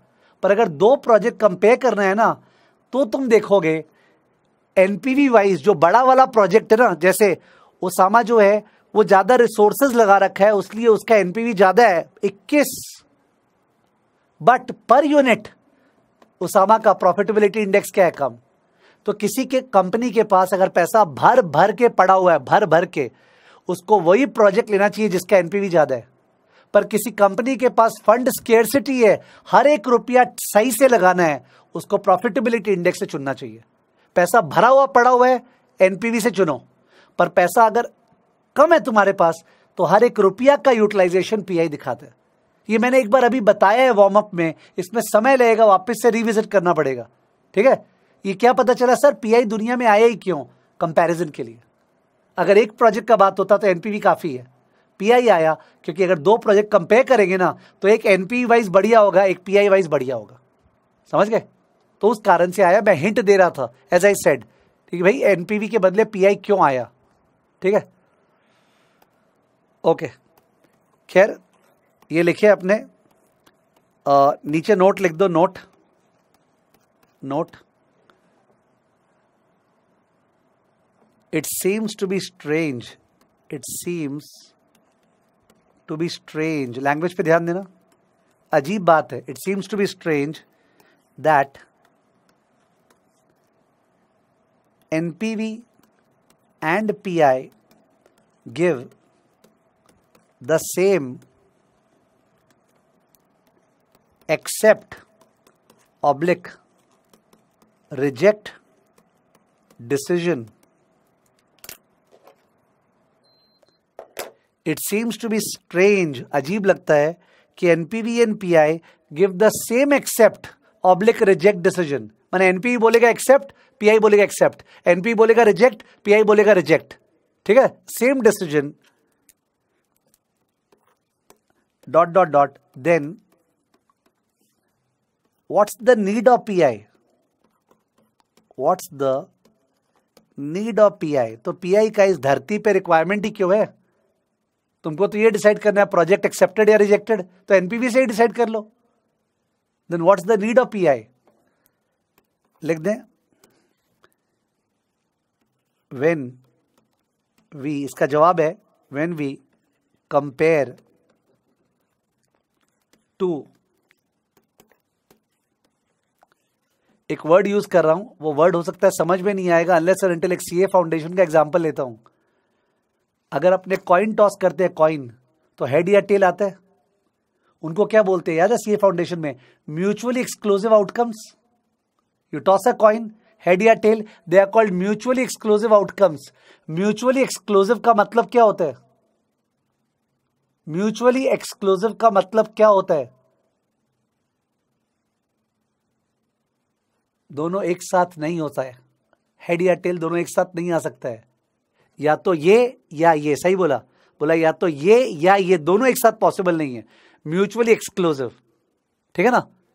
जो दोनों में से एक तो ही पॉसिबल है। जैसे अपने लूडो खेलते हैं, तब जो डाइस है, उसमें वन या टू या थ्री या फोर या फाइव या सिक्स म्यूचुअली एक्सक्लूसिव ठीक है? तो एक साथ नहीं आ सकता साइमल्टेनियसली नहीं हो सकता तो लिख रहे हैं when we compare to mutually exclusive projects when we compare to mutually exclusive project समझे? सर ऐसे प्रोजेक्ट्स जो सारे नहीं हो सकते, जिनमें से एक ही अलाउड है। जैसे दो प्रोजेक्ट ए और बी दोनों में से एक ही अलाउड है। दोनों अलाउड नहीं है। When we compare to mutually exclusive projects मैं अंडरलाइन कर दे रहा हूँ। Comma, there may be there may be conflict between NPV and PI NPV और पीआई में लड़ाई हो सकता है। एनपीवी बोलेगा, ओसामा पीआई बोलेगा, लालू। ओके लड़ाई हो रहा दोनों में। NPV and PI dot dot dot in such a case in such a case comma we require PI उन सिचुएशन में पीआई भी चाहिएगा। In such a case case we require PI जब कॉन्फ्लिक्ट होगा ना एनपीवी और पीआई में, दो प्रोजेक्ट्स में, तब जाके बात आएगा, सर, कौन सा करना है? ठीक है? और कौन सा करना है, मैंने हिंदी में तो बता दिया कि अगर पैसा भर भर के पड़ा हुआ है तो एनपीवी अगर पैसा स्केर्स है तो पीआई पर उसका अलग से सम्स आता है ना, इस बार भी एग्ज़ाम में आया है। नवंबर 19 एग्ज़ाम में इसका सम आया है। एनपी वर्सेस पीआई का इस बार नवंबर 19 एग्ज़ाम में सम आया है, पर मैं उसको वार्म अप में नहीं करा रहा हूँ। वो अपने करेंगे उधर में जाके। ठीक है ना? यहाँ बोल दिए थे किसी के ध्यान में आता कि पीआई का दरकार ही क्या है तो एक बार हिंट देना पड़ा। ब्रैकेट में लिख दे। थिंक ओसामा वर्सेस लालू तो क्या होता है मेमोरी मेमोरी जो है स्ट्रांग हो जाएगा तुम्हारा, ये एग्ज़ाम्पल से। और मेरा मकसद क्या है? तुम्हारा मेमोरी कैसे स्ट्रांग रहे? हाउ डू यू रिमेंबर ठीक है तो उसलिए एग्ज़ाम्पल लिए। तो उसमें कोई पर्सनल अटैक किसी के ऊपर नहीं था प्लीज़ और मैं तो उस डायरेक्शन में भी नहीं गया जो आदमी लोग नॉन वेज वगैरह चालू कर दिए थे यहाँ पे। ठीक है I was very very clear at मेरे को क्या कम्युनिकेट करना है। तो अपने कहाँ से चालू किए? एक प्रोजेक्ट था ऊपर में, और वो जो प्रोजेक्ट था बात हो रहा था कि सर वो एक्सेप्टेड है कि रिजेक्टेड है? तो उसका तीन मेथड्स है। एक मेथड है एनपीवी एक है पीआई और एक है आईआरआर क्या नाम है? Internal rate of return IRR internal rate of return IRR ठीक है, तीन मेथड्स है। पर जो तीसरा वाला मेथड है इंटरनल रेट ऑफ़ रिटर्न उसका कैलकुलेशन गिवन आवर इंफ्रास्ट्रक्चर अपने पास क्या इंफ्रास्ट्रक्चर एग्ज़ाम में? पेन है पेपर है और फालतू कैलसी है। फिर से, पेन है, पेपर है, फालतू कैलसी है। उस इंफ्रास्ट्रक्चर में आईआरआर निकालना बहुत मुसीबत का काम है, जो समझाने में क्लासेस लेते हैं अपने। मतलब वी टेक सम क्लास अभी मेरा वार्म अप में आईआरआर में जाने का मन नहीं है तो मेथड थ्री आईआरआर में नाम लिखाऊँगा और लिखाऊँगा bracket to be discussed later to be discussed later ठीक है तो लिखो please method three method three, internal rate of return. Internal rate of return, internal rate of return IRR IRR वैसे कितना आसान चीज़ होता है, अभी देखो कैसे तुम लोग कूद के बोलने वाले हो, कूद के, देखना। कॉपी मत करना, देखना। अगर एक एक साल का प्रोजेक्ट है जिसमें 200 जा रहा है और 220 आएगा, इसमें क्या रिटर्न दिख रहा है? दिख गया होगा रिटर्न रिटर्न परसेंटेज परसेंटेज भाई। परसेंटेज बोला मैंने अमाउंट नहीं।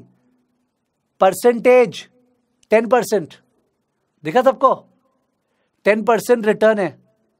एक काम करो प्लीज़ रिक्वेस्ट है। टू ट्वेंटी का प्रेजेंट वैल्यू टेन परसेंट पे निकालो तो। Two twenty by one point one two twenty by one point one two hundred आया? तभी तो आयर है। हिडन रिटर्न दस परसेंट है। सही है, जो दिख रहा है ना, इसके अंदर छुपा हुआ दस परसेंट है, पर ये फिगर्स इतने आसान है, हम लोग को ऐसे ही दिख गया दस परसेंट है। ठीक है तो? देखिए कौन बता पाते हैं। ये प्रोजेक्ट है। आईआरआर क्या है?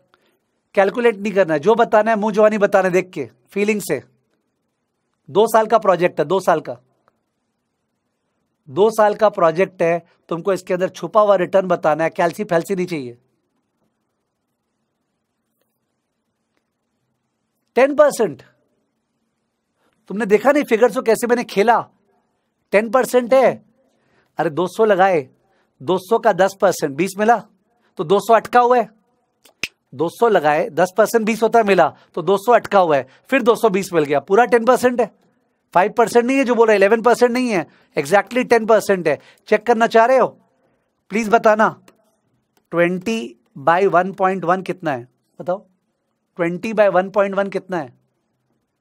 20 बाय 1.1 प्लीज़ मैंने बोला 20 बाय 1.1 18.18 थैंक यू और 220 बाय 1.1 स्क्वायर कितना है? 220 बाय 1.1 स्क्वायर कितना है? काकुड़गाछी सेंटर, आपने बोला, प्लीज़ रिपीट, ये चल रहा है प्रोसेस आपको लग रहा है मैं कुछ बोल के निकल गया, अभी उस प्रोसेस में हूँ मैं। 220 बाय 1.1 स्क्वायर कितना है? 181.81 और दोनों को ऐड करो। इन दोनों को ऐड करो। 200 आ रहे मोटा मोटी 200 आ गया? तो आप मतलब समझे एक बार मतलब मतलब ये है अगर कोई कैश फ्लोज दिया हुआ है, अगर कोई कैश फ्लोज दिया हुआ है तो जो कैश फ्लोज है ना, उसको किस रेट से खींचे, उसको किस रेट से खींचे जिससे कि 200 आ जाए? कितना डिफ़िकल्ट चीज़ है ये। कैश फ्लोज को पता लगाना पड़े कौन से रेट से पुल करे जिससे कि 200 आ जाए। तो रेट तो कुछ भी हो सकता था, मैं तो बढ़िया बढ़िया ले रहा हूँ। अब अगर सपोज़ ये कैश फ्लो है, देखो एक बार। Zero one two three four एक बार देखना। 200 जा रहा है। अब मैं गंदगी पे तुल रहा हूँ। 120 आ रहा है फिर 50 आ रहा है फिर 60 आ रहा है फिर 100 आ रहा है। इसको बोलते हैं गंदगी। तो उस केस में अपने को पता लगाना पड़ेगा 120, 50, 60 और 100 को कौन से रेट से पुल करें? 10 परसेंट से कि 12 परसेंट या 14 परसेंट जिससे कि 200 आ जाए। तो भयानक काम है वो निकालना। इक्वेशन क्या हो गया? 120 बाय वन प्लस आर पचास by one plus R square साठ by one plus R cube सौ by one plus R power four और ये टोटल 200 के बराबर आना चाहिए। मैं ये नहीं बोल रहा हूँ कि मैंने समझा दिया, पर एक हिंट होता है ना कि सर आई का मतलब तो बताइए, जरा सा हिंट तो दीजिए। ये आर आई आर आर है। ये पावर फोर का इक्वेशन है CA foundation polynomial power four power four solve करना नहीं होता है। क्वाड्रेटिक सॉल्व कर देता तुम। मैं वन प्लस आर स्क्वायर लेता ना, तुम एक्स स्क्वायर लेके सॉल्व कर देता, जो लोग अच्छा है मैथ्स में। क्वाड्रेटिक भी सॉल्व नहीं कर पाएगा वैसे तो बच्चा लोग, ठीक है ना? पर जो लोग अच्छा है मैथ्स में सॉल्व कर देगा। पर one plus R power four मानी पॉलिनोमियल इसमें क्या होता है? हिट एंड ट्रायल मेथड लगाते हैं। लेट आर इक्वल टू दस परसेंट ट्राई करें। बारह परसेंट ट्राई किए, पंद्रह परसेंट ट्राई किए। कोई बच्चा ट्राई कर रहा है और वहाँ पे जो बगल वाला बच्चा है, वो बाज़ार में सुन लिया, क्या रेट है? ओ थर्टीन पॉइंट टू लिखा। देख आंसर मैच पतला गली से निकल गया। मैंने बाज़ार में खबर ले लेते ना, कान खुला रख के। तो बहुत सारा चीज़ है यहाँ पे। कैसे समय बचे? तो इसलिए इंटरनल रेट ऑफ़ रिटर्न में जो गंदगियाँ हैं, वो अभी वार्म अप में नहीं कर रहे हैं। ठीक है? वो करेंगे। गंदगी सहना तो बढ़ेगा ही ना। करेंगे अपने। सर रियल लाइफ में क्या होता है? रियल लाइफ में तो एक्सेल शीट पे एक्सेल शीट पे बस इसको सिलेक्ट करेंगे ना ये, ठीक है? और करेंगे इक्वल टू आई और आंसर आ जाएगा। एक्सेल शीट पे इसको बस सिलेक्ट करेंगे और इक्वल टू आईआरआर आंसर या साइंटिफिक कैल्सी होता है, उसके अंदर भी निकल जाता है तुरंत। ठीक है? पर अपने को इतना बुरा कैल्सी दे रखा है कि अपना पूरा ब्रेन लगा रहे ये गंदगी चीज़ों में। उसको ब्रेन लगाना चाहिए। अच्छी अच्छी बातों में जो रियल लाइफ में काम आएगी और ब्रेन लगाते हैं आर को ट्रायल करने में। तो बुद्धि जो है वो एकदम हीन है ये लोग की। इनको पता नहीं क्या करवाना चाहिए। तो अपना मेथड थ्री मैंने लिखाया internal rate of return method three internal rate of return लिख दो। To be to be discussed later to be discussed later यानी मैं इंटरनल रेट ऑफ़ रिटर्न कराया ही नहीं हूँ, ये जान लें। यानी अगर बाद में आपका डाउट आएगा सर आई बताए थे, समझ में नहीं आया। मैं बोल रहा हूँ it is not done at all आप मानिए मैंने कराया ही नहीं है तो समझ में नहीं आया का बात ही नहीं है। ठीक है ना? अब, एक बहुत स्वीट सा, एक बहुत स्वीट सा क्राइटेरिया है, ठीक है? वो क्राइटेरिया क्या है? ना ऐसे बोलूँगा ना तो लगेगा हैवी तुमसे पूछूँगा तो तुरंत कूद के तुम जवाब दे दोगे। ठीक है? एक बार ट्राई करें। लिखना मत, केवल जवाब देना। Zero one two three four figures देखो। नौ सौ जा रहा है। चार सौ आ रहा है। पाँच सौ आ रहा है। दो सौ आ रहा है। तीन सौ आ रहा है। What is the pay back period pay back period pay back English english language back period मतलब कितने सालों में शुरू का 900 जो लगाए थे रिकवर हो गया। 900 कितने सालों में रिकवर हो गया? सबको दिख रहा होगा। कॉमन सेंस प्लीज़ स्ट्रेस मत दो अपने आप को। जो स्ट्रेस देगा, वो आंसर नहीं दे पाएगा। जो स्ट्रेस नहीं देगा, उसके मुँह पे आंसर है। पचास टू आंसर आ चुका है यहाँ पे। दो साल। दिखा आपको? पेबैक पीरियड दो साल दिखा? पेबैक पीरियड अगर तुम इमेजिन करो अपने आप को you have become a chartered accountant और तुम एक कंपनी में काम कर रहे हो एज अ प्रोजेक्ट मैनेजर कौन सा प्रोजेक्ट एक्सेप्ट करना चाहोगे? जिसमें पेबैक फटाफट हो जाता है या जिसमें पेबैक पे टाइम लगता है? कौन सा प्रोजेक्ट बढ़िया? जिसमें पेबैक फटाफट हो जाता है या जिसपे पेबैक पे टाइम लगता है? फटाफट! जितना पेबैक पीरियड लोअर उतना बढ़िया ना? पैसा गाए थे एक साल में रिकवर वही तो बढ़िया प्रोजेक्ट है। तो पेबैक पीरियड उस तरह से लोग मानते हैं। ठीक है? पर पेबैक पीरियड का ड्रॉबैक देखा? पेबैक पीरियड ड्रॉबैक देखा आपने? वो time value of money consider ही नहीं करता है। 400 और 500 तो एक साल, दो साल बाद आया। ब्याज कहाँ गया? कंसिडर हुआ कि नहीं हुआ? नहीं हुआ। अरे 900 रिकवर हो गया। 900 का ब्याज? वो कहाँ गया? ठीक है तो? वो गड़बड़ है पेबैक पीरियड में। एक बार तुम लोग का दिमाग देख रहा हूँ। अब पेबैक पीरियड बताना। पेबैक पीरियड बताओ। बहुत इजी है। जवाब आया है।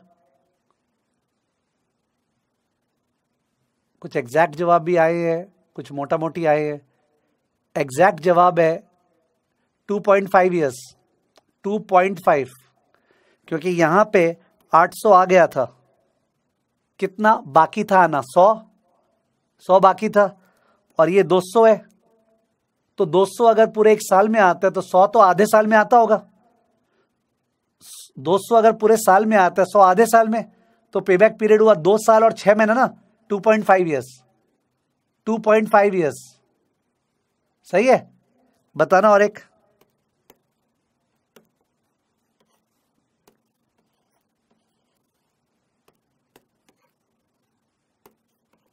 अब बताओ।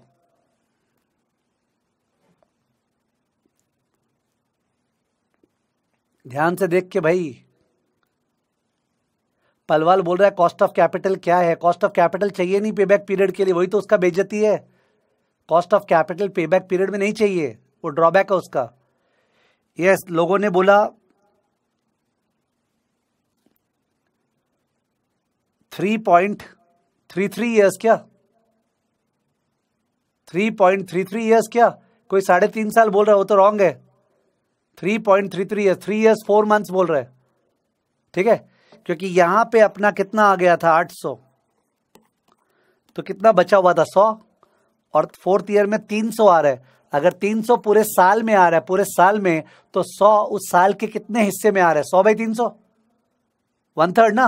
वन थर्ड माने फोर मंथ्स दैट्स ओके तो थ्री ईयर्स फोर मंथ्स या three point three three years इसको बोलते पे बैक पीरियड इतना आसान क्राइटेरिया है पे बैक पीरियड ठीक है? पर पे बैक पीरियड वगैरह बड़े बड़े ऑर्गेनाइजेशंस में कभी नहीं लगता है। बड़े ऑर्गेनाइजेशंस में एनपीवी प्रॉफिटेबिलिटी इंडेक्स आईआरआर कोई छोटा मोटा एंटिटी है ना, वो लोग के पास जो काम कर रहा है, वो फेल सी है। जो इंटर पास नहीं हो पाया तो वो लोग को आता नहीं एनपीवी आईआरआर निकालना। तो वो लोग जो है पे बैक पीरियड ये सबसे कर लेते हैं। कि वो लोग को समझ में आता है। अरे बी कॉम टाइप समझ गए? तो औकात वाला जो कंपनीज़ है, वो लोग कभी भी पे बैक पीरियड वगैरह यूज़ नहीं करते। तो बी कॉम में क्वेश्चन आएगा अपने। अगर एफएम है तो कौन से सेमेस्टर में? What are the advantages of pay back period six marks तो आदमी लिखेगा इजी टू कंप्यूट दूसरा इजी टू अंडरस्टैंड वैसे वैसे पॉइंट्स बनाते ना वैसे होगा। अपने सीए में दे तो रखा है पर पेबैक पीरियड आने का स्कोप कम होता है। खैर, करना पड़ता है अपने को। ठीक है? पेबैक पीरियड तो अपने मेथड थ्री में तो छोड़ दिए। विल बी कवर्ड लेटर नीचे नोट दे के लिख लो। Note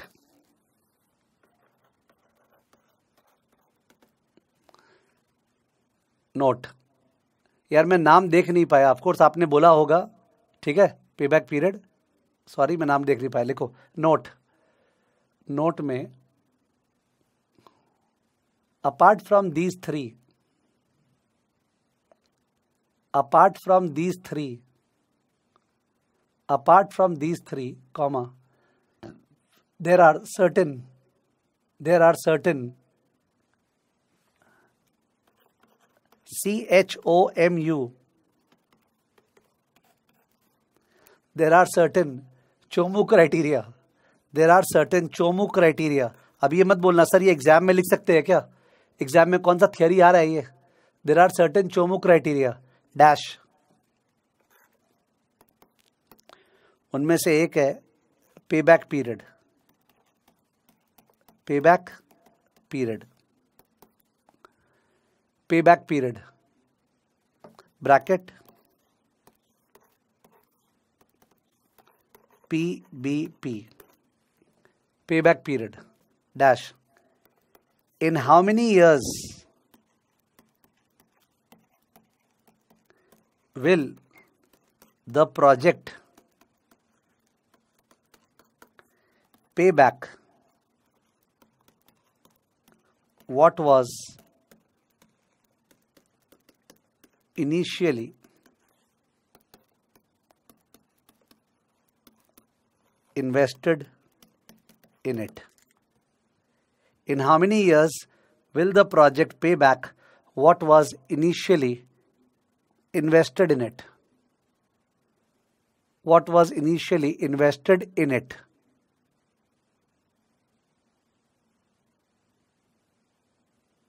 What was initially invested in it? Dash. Lower the better. Lower, the better. जितना कम थी उतना बढ़िया। जबकि एनपीवी जितना ज़्यादा उतना बढ़िया। प्रॉफिटेबिलिटी इंडेक्स जितना ज़्यादा उतना बढ़िया। आईआरआर जितना ज़्यादा उतना बढ़िया। रिटर्न है ना? पेबैक पीरियड जितना कम उतना बढ़िया। Example years. Net cash flow.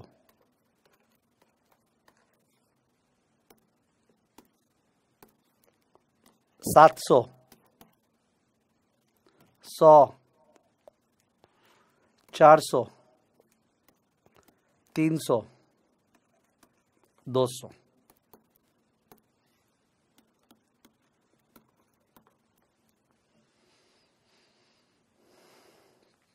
क्या आंसर है? कॉमन सेंस से आंसर चाहिए as F C A foundation का मल्टीपल चॉइस कर रहे हैं। आपको सोचना है सीए फाउंडेशन का मल्टीपल चॉइस कर रहे हैं। तो आंसर शायद लोग दे रहे two years eight month two point six seven years two point six seven years लोग दे रहे हैं, क्योंकि फ़र्स्ट टू इयर्स में पाँच सौ आ गया था। फ़र्स्ट टू इयर्स में पाँच सौ आ गया था तो कितना फंसा हुआ था? दो सौ। फ़र्स्ट टू ईयर्स में 500 आ गया था, फंसा हुआ था 200 और थर्ड ईयर में 300 आ रहा है। अगर 300 पूरे साल में आ रहा है तो जो 200 वो कितने पोर्शन में आ रहा है? 200 बाई 300 200 बाय 300 यानी क्या हो गया? Pay back period is 2.67 years 2.67 years okay लोग बोल रहे हैं टू ईयर्स एट मंथ्स एकदम सही है। बोल रहे दो साल और two third of twelve eight months कोई प्रॉब्लम नहीं है। ठीक है? 2.67 ईयर्स अरे, अपने सम में पेबैक पीरियड क्या था? अपना जो सम चल रहा था ऊपर, जो मेन सम था आज अपना, पूरा नोट्स वाला, कहा था? हाँ इस सब में पेबैक पीरियड क्या है?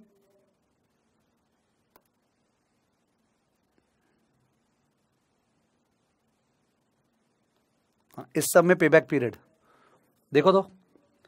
हज़ार रिकवर करना है तो तीन सौ, दो सौ, पाँच सौ, एक सौ छः सौ। छः सौ के बाद तो ग्यारह सौ आ रहा है। तो इसका मतलब थ्री पॉइंट कुछ होगा। ओके थ्री पॉइंट समथिंग होगा। देखा आपको, दो सौ, तीन सौ, दो सौ, पाँच सौ और छः सौ छः सौ के बाद पाँच सौ, ग्यारह सौ। तो इसका मतलब चार सौ अनरिकवर था। चार सौ बाई पाँच सौ point eight three point eight years एकदम सही है। Three point eight years three point eight years okay pay back period लिख देना वहाँ नीचे. In our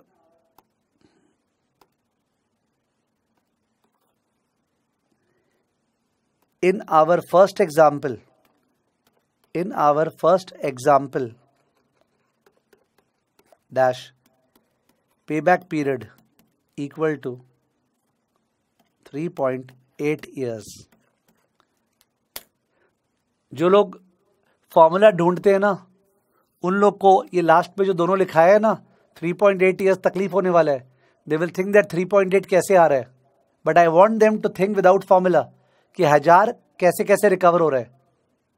ठीक है? इसका भी फॉर्मूला बना रखा है। खुशी का बात यह सब चीज़ का फॉर्मूला बना रखा है। There is no issue at all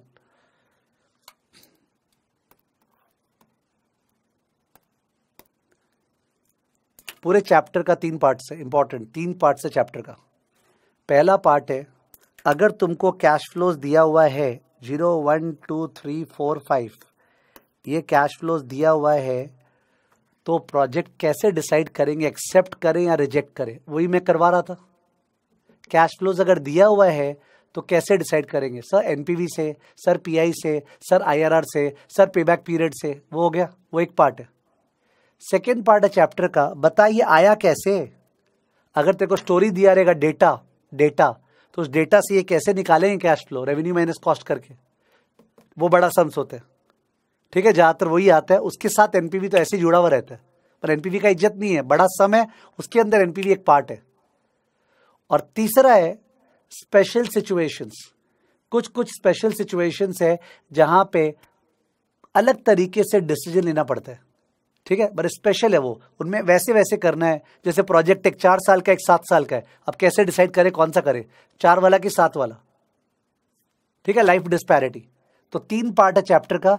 एक पार्ट है कौन सा? कि appraisal criteria appraisal criteria NPV आएगा दूसरा पार्ट है जनरेशन ऑफ़ कैश फ्लोज और तीसरा पार्ट है स्पेशल सिचुएशन स्पेशल सिचुएशंस लिखिए please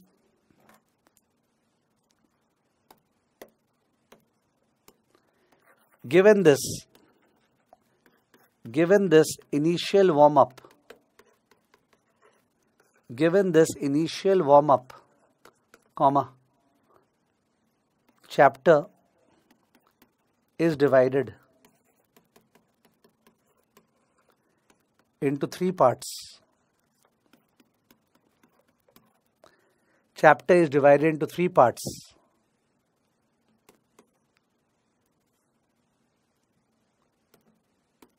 part 1 appraisal criteria. इसी में काम आएगा NPV profitability index IRR payback period इसी में काम आएगा। इसका आपको एक रफ आइडिया हो गया, जरा सही प्रैक्टिस नहीं हुआ ठीक है? Part two part two project cash flows story दिया हुआ रहेगा, उससे कैश फ्लो कैसे पता लगाएँगे? वो जो 300 200 लिखा हुआ था, वो सब कैसे निकालेंगे? Part three special situations special situations special situations ठीक है? एक बार पेज नंबर 310 में आइए। और मैं बुक का पेज यहाँ दिखा रहा हूँ, जिनके पास बुक नहीं है। पेज नंबर 310 में।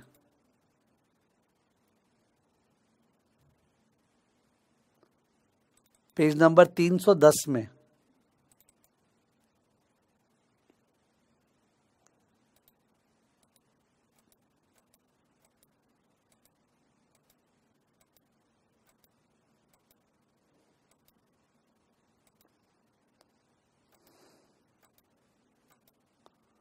ओके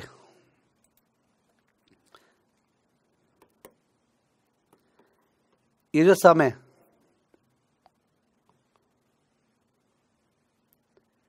वैसा कुछ नहीं है, भुवनेश्वर सेंटर आप जो बोल रहे हैं ना, वैसा कुछ नहीं है, ठीक है? और मैं वो सबके साथ शेयर नहीं कर पा रहा it will confuse other people ठीक है? वो ऐसा कुछ बोलना चाह रहे हैं कि अगर एक कंपनी में बोरोइंग नहीं है बोरोइंग तो उस केस में तो इंटरेस्ट होगा नहीं तो पेबैक पीरियड ठीक ही तो है ना, वो इंटरेस्ट नहीं लेता है। तो तुम भूल गए हो कि शेयर होल्डर्स जो है, वो लोग डेट से भी ज़्यादा रिस्क लेते हैं। उनको भी रिटर्न चाहिए होता है।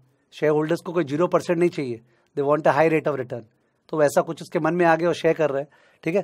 मेरे को लगा कि वो उसको लगेगा कि मैं उसको एड्रेस नहीं कर रहा हूँ। एक बार क्वेश्चन देखे प्लीज़ पेज नंबर तीन सौ दस question number four question number four सब जन क्वेश्चन देख रहे हैं। ABC is a small company currently analyzing capital expenditure proposal for the purchase of equipment. Company uses the NPV technique to evaluate project बहुत बढ़िया बात है, बता दिया। भाई एनपीवी यूज़ करना है। The capital budget is limited to पाँच lakh which ABC limited believes is the maximum capital it can raise औकात इसका पाँच लाख है।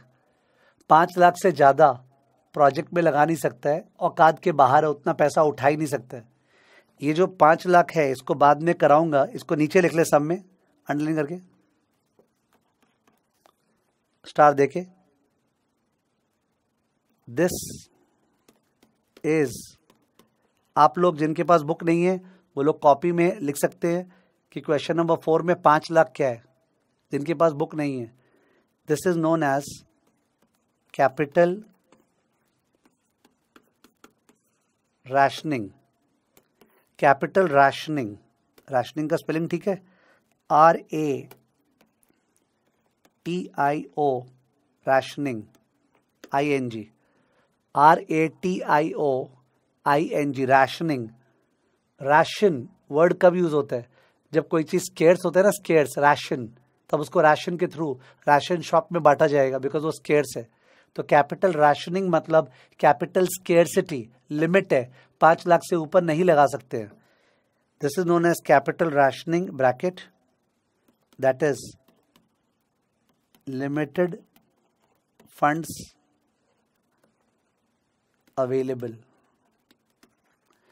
तो जो अपना स्पेशल सिचुएशन है ना पार्ट थ्री जो मैंने पार्ट थ्री लिखा है स्पेशल सिचुएशन उस पर कैपिटल राशनिंग का अलग से डिस्कशन है। पर इस सब में उसका कोई लेना देना नहीं है, इसलिए मैं इसको पकड़ा। तो आगे देखते हैं। आपने कॉपी कर लिया होगा। क्या लिखा हुआ है? विच एबीसी लिमिटेड हाँ। The initial investment and projected net cash flow for each project are shown below तो project A project B project C project D चार प्रोजेक्ट है। A B C D cost of capital बारह percent. के सी you are required to compute NPV of the different projects चारों का NPV निकालना है। तो प्रोजेक्ट ए का जब एनपीवी निकालोगे प्रोजेक्ट ए का तो आपको चार कॉलम याद है एनपीवी में? एक कॉलम था ईयर्स एक कॉलम था कैश फ्लो एक कॉलम था डिस्काउंटिंग फैक्टर और एक कॉलम था present value years cash flow discounting factor present value उससे ए का एनपीवी आ जाएगा, फिर बी का, फिर सी का, फिर डी का। सम का पर्पस क्या है? एफर्ट प्रैक्टिस कि अगर आदमी चार बार निकालेगा तो तुमको चार कॉलम का तरीका रट जाएगा यू विल फील दैट एकदम कंफर्टेबल है। अपने ए का फटाफट निकाल रहे हैं बिकॉज़ आप लोग चैंपियन हो कैलकुलेशन करने में। ए का फटाफट निकाल रहे हैं। Four project A yes net cash flow discounting factor at twelve percent और present value years net cash flow discounting factor at twelve percent था ना? हाँ ट्वेल्व परसेंट था सब में। फिर प्रेजेंट वैल्यू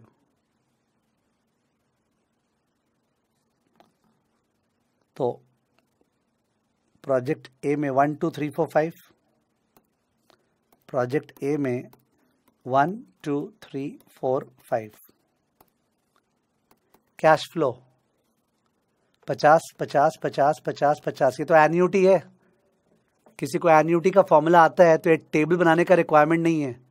मैं भूल के देखा नहीं तो बना दिया, पर अभी मैं डाइवर्ट नहीं कर रहा एक बार बना दे रहा हूँ। पर ये एन्यूटी से हो सकता है, ठीक है ना? ये एन्यूटी से हो सकता है, मैंने आज एन्यूटी कराया नहीं है तो मैं एक बार एन्यूटी नहीं यूज़ कर रहा हूँ। ठीक है, जो बंदा चाहे वो यूज़ कर सकता है, जिसको जिसको एन्यूटी का यूज़ करना आता है। ठीक है, मैं सेंस आज कराया नहीं तो I don't want to go into it अब बताओगे प्लीज़ चार डेसिमल में one by one point one two equal to one by one point one two मैंने बोला इक्वल टू मैं खुद कर लूँगा वरना। I am doing it myself one divide by one point one two equal to point eight nine two nine equal to point seven nine seven two equal to point seven double one eight equal to point six three five five equal to point five six seven four okay, जो भी person खुद calculate नहीं करता है, उसको classes बहुत ज़्यादा खराब लगने वाली है। You have to calculate one by one point one two फिर equal to equal to equal to equal to पाँच बार। अब मल्टीप्लाई करें, बड़े फिगर्स इन्वॉल्व राउंड ऑफ़ करना अलाउड है। जहाँ बड़े बड़े फिगर्स है राउंड ऑफ़ करना अलाउड है। तो आप राउंड ऑफ़ करके बोलिएगा प्लीज़ पचास हज़ार into point eight nine two nine rounded off पचास हज़ार into point eight nine two nine four four six four five rounded off है। Four four six four five next पचास हज़ार into point seven nine seven two पचास हज़ार into point seven nine seven two three nine eight six zero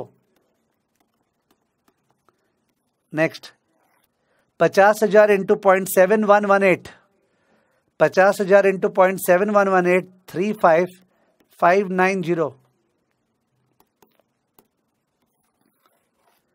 पचास हज़ार into point six three five five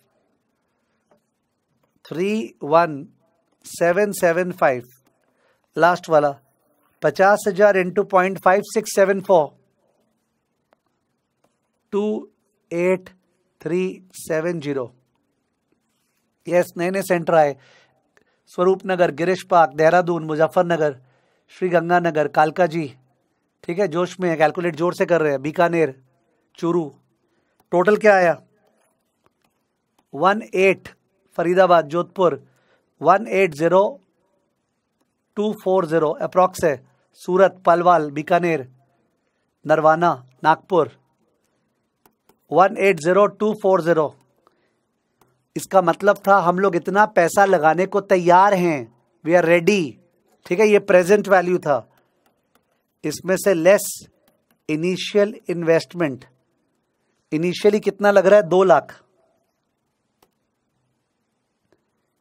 initially दो लाख लग रहा है तो प्रोजेक्ट खराब है। ओके प्रेजेंट वैल्यू तो है ही नहीं उसका इतना।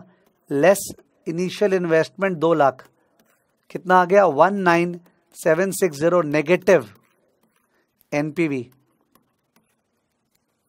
okay project rejected clearly ठीक है? One nine seven six zero negative है। तो ये वेल्थ डिस्ट्रॉय करेगा। इसमें बारह परसेंट रिटर्न है ही नहीं। ठीक है?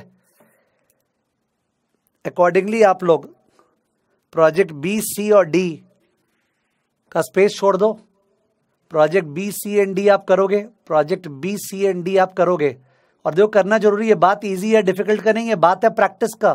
अगर प्रैक्टिस नहीं हुआ तो रिदम नहीं आएगा। उसके अलावा क्वेश्चन नंबर फाइव ये भी होमवर्क है, पर इसको एक बार रीड कर रहा हूँ, जिससे कोई अटके नहीं। क्वेश्चन नंबर फाइव भी होमवर्क है, इसको रीड कर रहा हूँ, जिससे कोई अटके नहीं। Suppose we have three projects involving discounted cash flow पाँच पचास, पचहत्तर हज़ार और दस लाख, जो भी है। डिस्काउंटेड कैश फ्लो दे दिया ये तो। ओके पे टेंशन ये डिस्काउंटेड कैश फ्लो दे दिया है। डिस्काउंटेड कैश फ्लो का मतलब क्या हो गया? पीवी ऑफ़ कैश फ्लो यानी अपने को पुल नहीं करना बता दिया पीवी ये। मैंने भी एक सब में लिखाया था ना। पीवी लिखा दिया था आज। तो ये डिस्काउंटेड कैश फ्लो तीन प्रोजेक्ट्स का बता दिया है। पाँच पचास, पिचहत्तर हज़ार और ये। आप इसको year one year two year three मत मान लेना। ये तीन प्रोजेक्ट्स का प्रेजेंट वैल्यू है। Suppose further that the sum of the discounted cash inflow for these projects are this this and this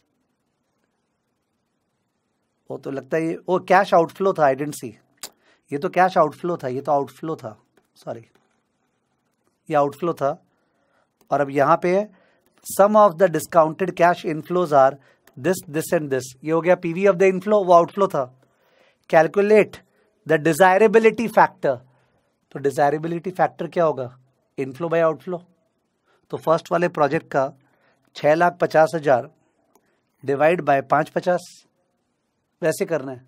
PV दिया हुआ है, मेहनत ही नहीं है सब में। प्रेजेंट वैल्यू करके दिया केवल तुमको रेशियो निकालना है। तो क्वेश्चन नंबर टू जो है ओके और क्वेश्चन नंबर फाइव उसको भी होमवर्क मार्क कर ले।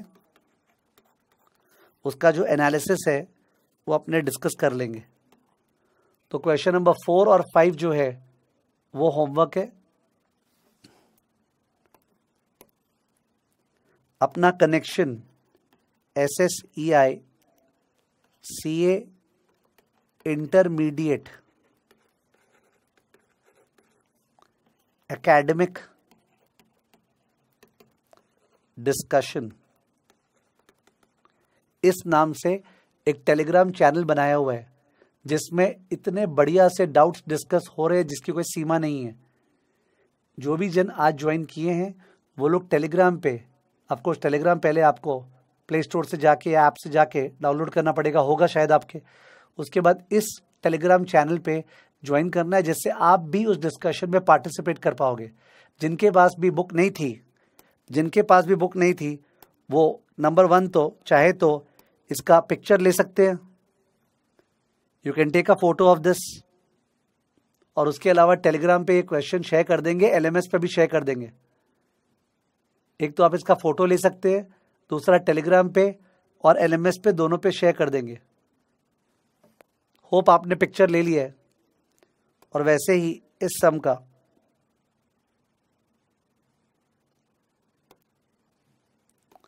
क्वेश्चन फाइव का। क्वेश्चन फाइव का। ठीक है, जिसको पिक लेना है, वो ले सकते हैं। Okay so that was the first class of capital budgeting बहुत सारी ऐसी चीज़ थी जो मैंने टच की है इलेबोरेट नहीं कर पाया। ठीक है we have not started the chapter formally we that just did the warm up जिससे एक आइडिया जनरेट हुई। तो आपका असेसमेंट ये हो कि आज जो हुआ, उससे यार आइडिया हो गया कैश फ्लोज रहता है लंबा चौड़ा, और उसके हेल्प से अपने को इवेल्युएट करना पड़ता है। ठीक है तो will pick it up in the next class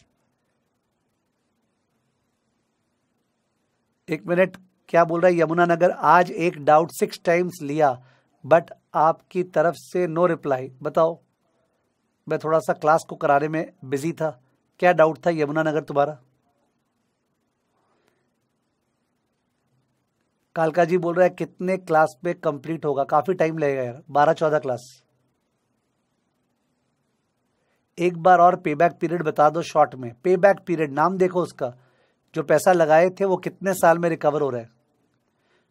Yamunanagar sir, आपने जो वेरी फ़र्स्ट एग्ज़ाम्पल लिखाया था, जिसमें चौदह परसेंट ऐड करते हुए आगे गए थे उस पर twenty two point four six आ रहा था। बट एनपीवी वो जो twenty two point four six आ रहा था, वो फ्यूचर वैल्यू था नेट फ्यूचर वैल्यू ओके वो कभी पूछता नहीं एग्ज़ाम में, इसलिए मैंने वो लिखवाया नहीं। ओके नेट फ्यूचर वैल्यू नहीं दिया हुआ है। ठीक है? वो नेट फ्यूचर वैल्यू था, उसका अगर प्रेजेंट वैल्यू करेंगे तो एनपीवी आ जाएगा। यमुनानगर जो हमने क्लास में पहली बार निकाला था वो नेट फ्यूचर वैल्यू था, उसका प्रेजेंट वैल्यू करेंगे तो नेट प्रेजेंट वैल्यू आ जाएगा।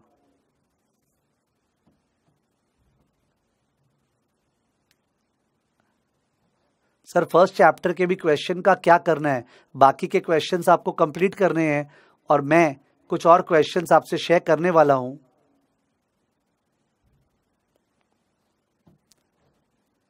भिवानी सेंटर क्या बोल रहे हैं? मेरे को समझ में नहीं आ रहा है। बिकॉज़ कैश तो एंड पे आएगा ना, तभी तो उसका प्रेजेंट वैल्यू कर रहे हैं। बुक का कवर दिखा दीजिए ना। बुक का कवर से क्या करेंगे? बुक का कवर ये है। टेस्ट का बात हो गया था फ़र्स्ट चैप्टर का, मैं वो टेलीग्राम पे ही डाल दूँगा।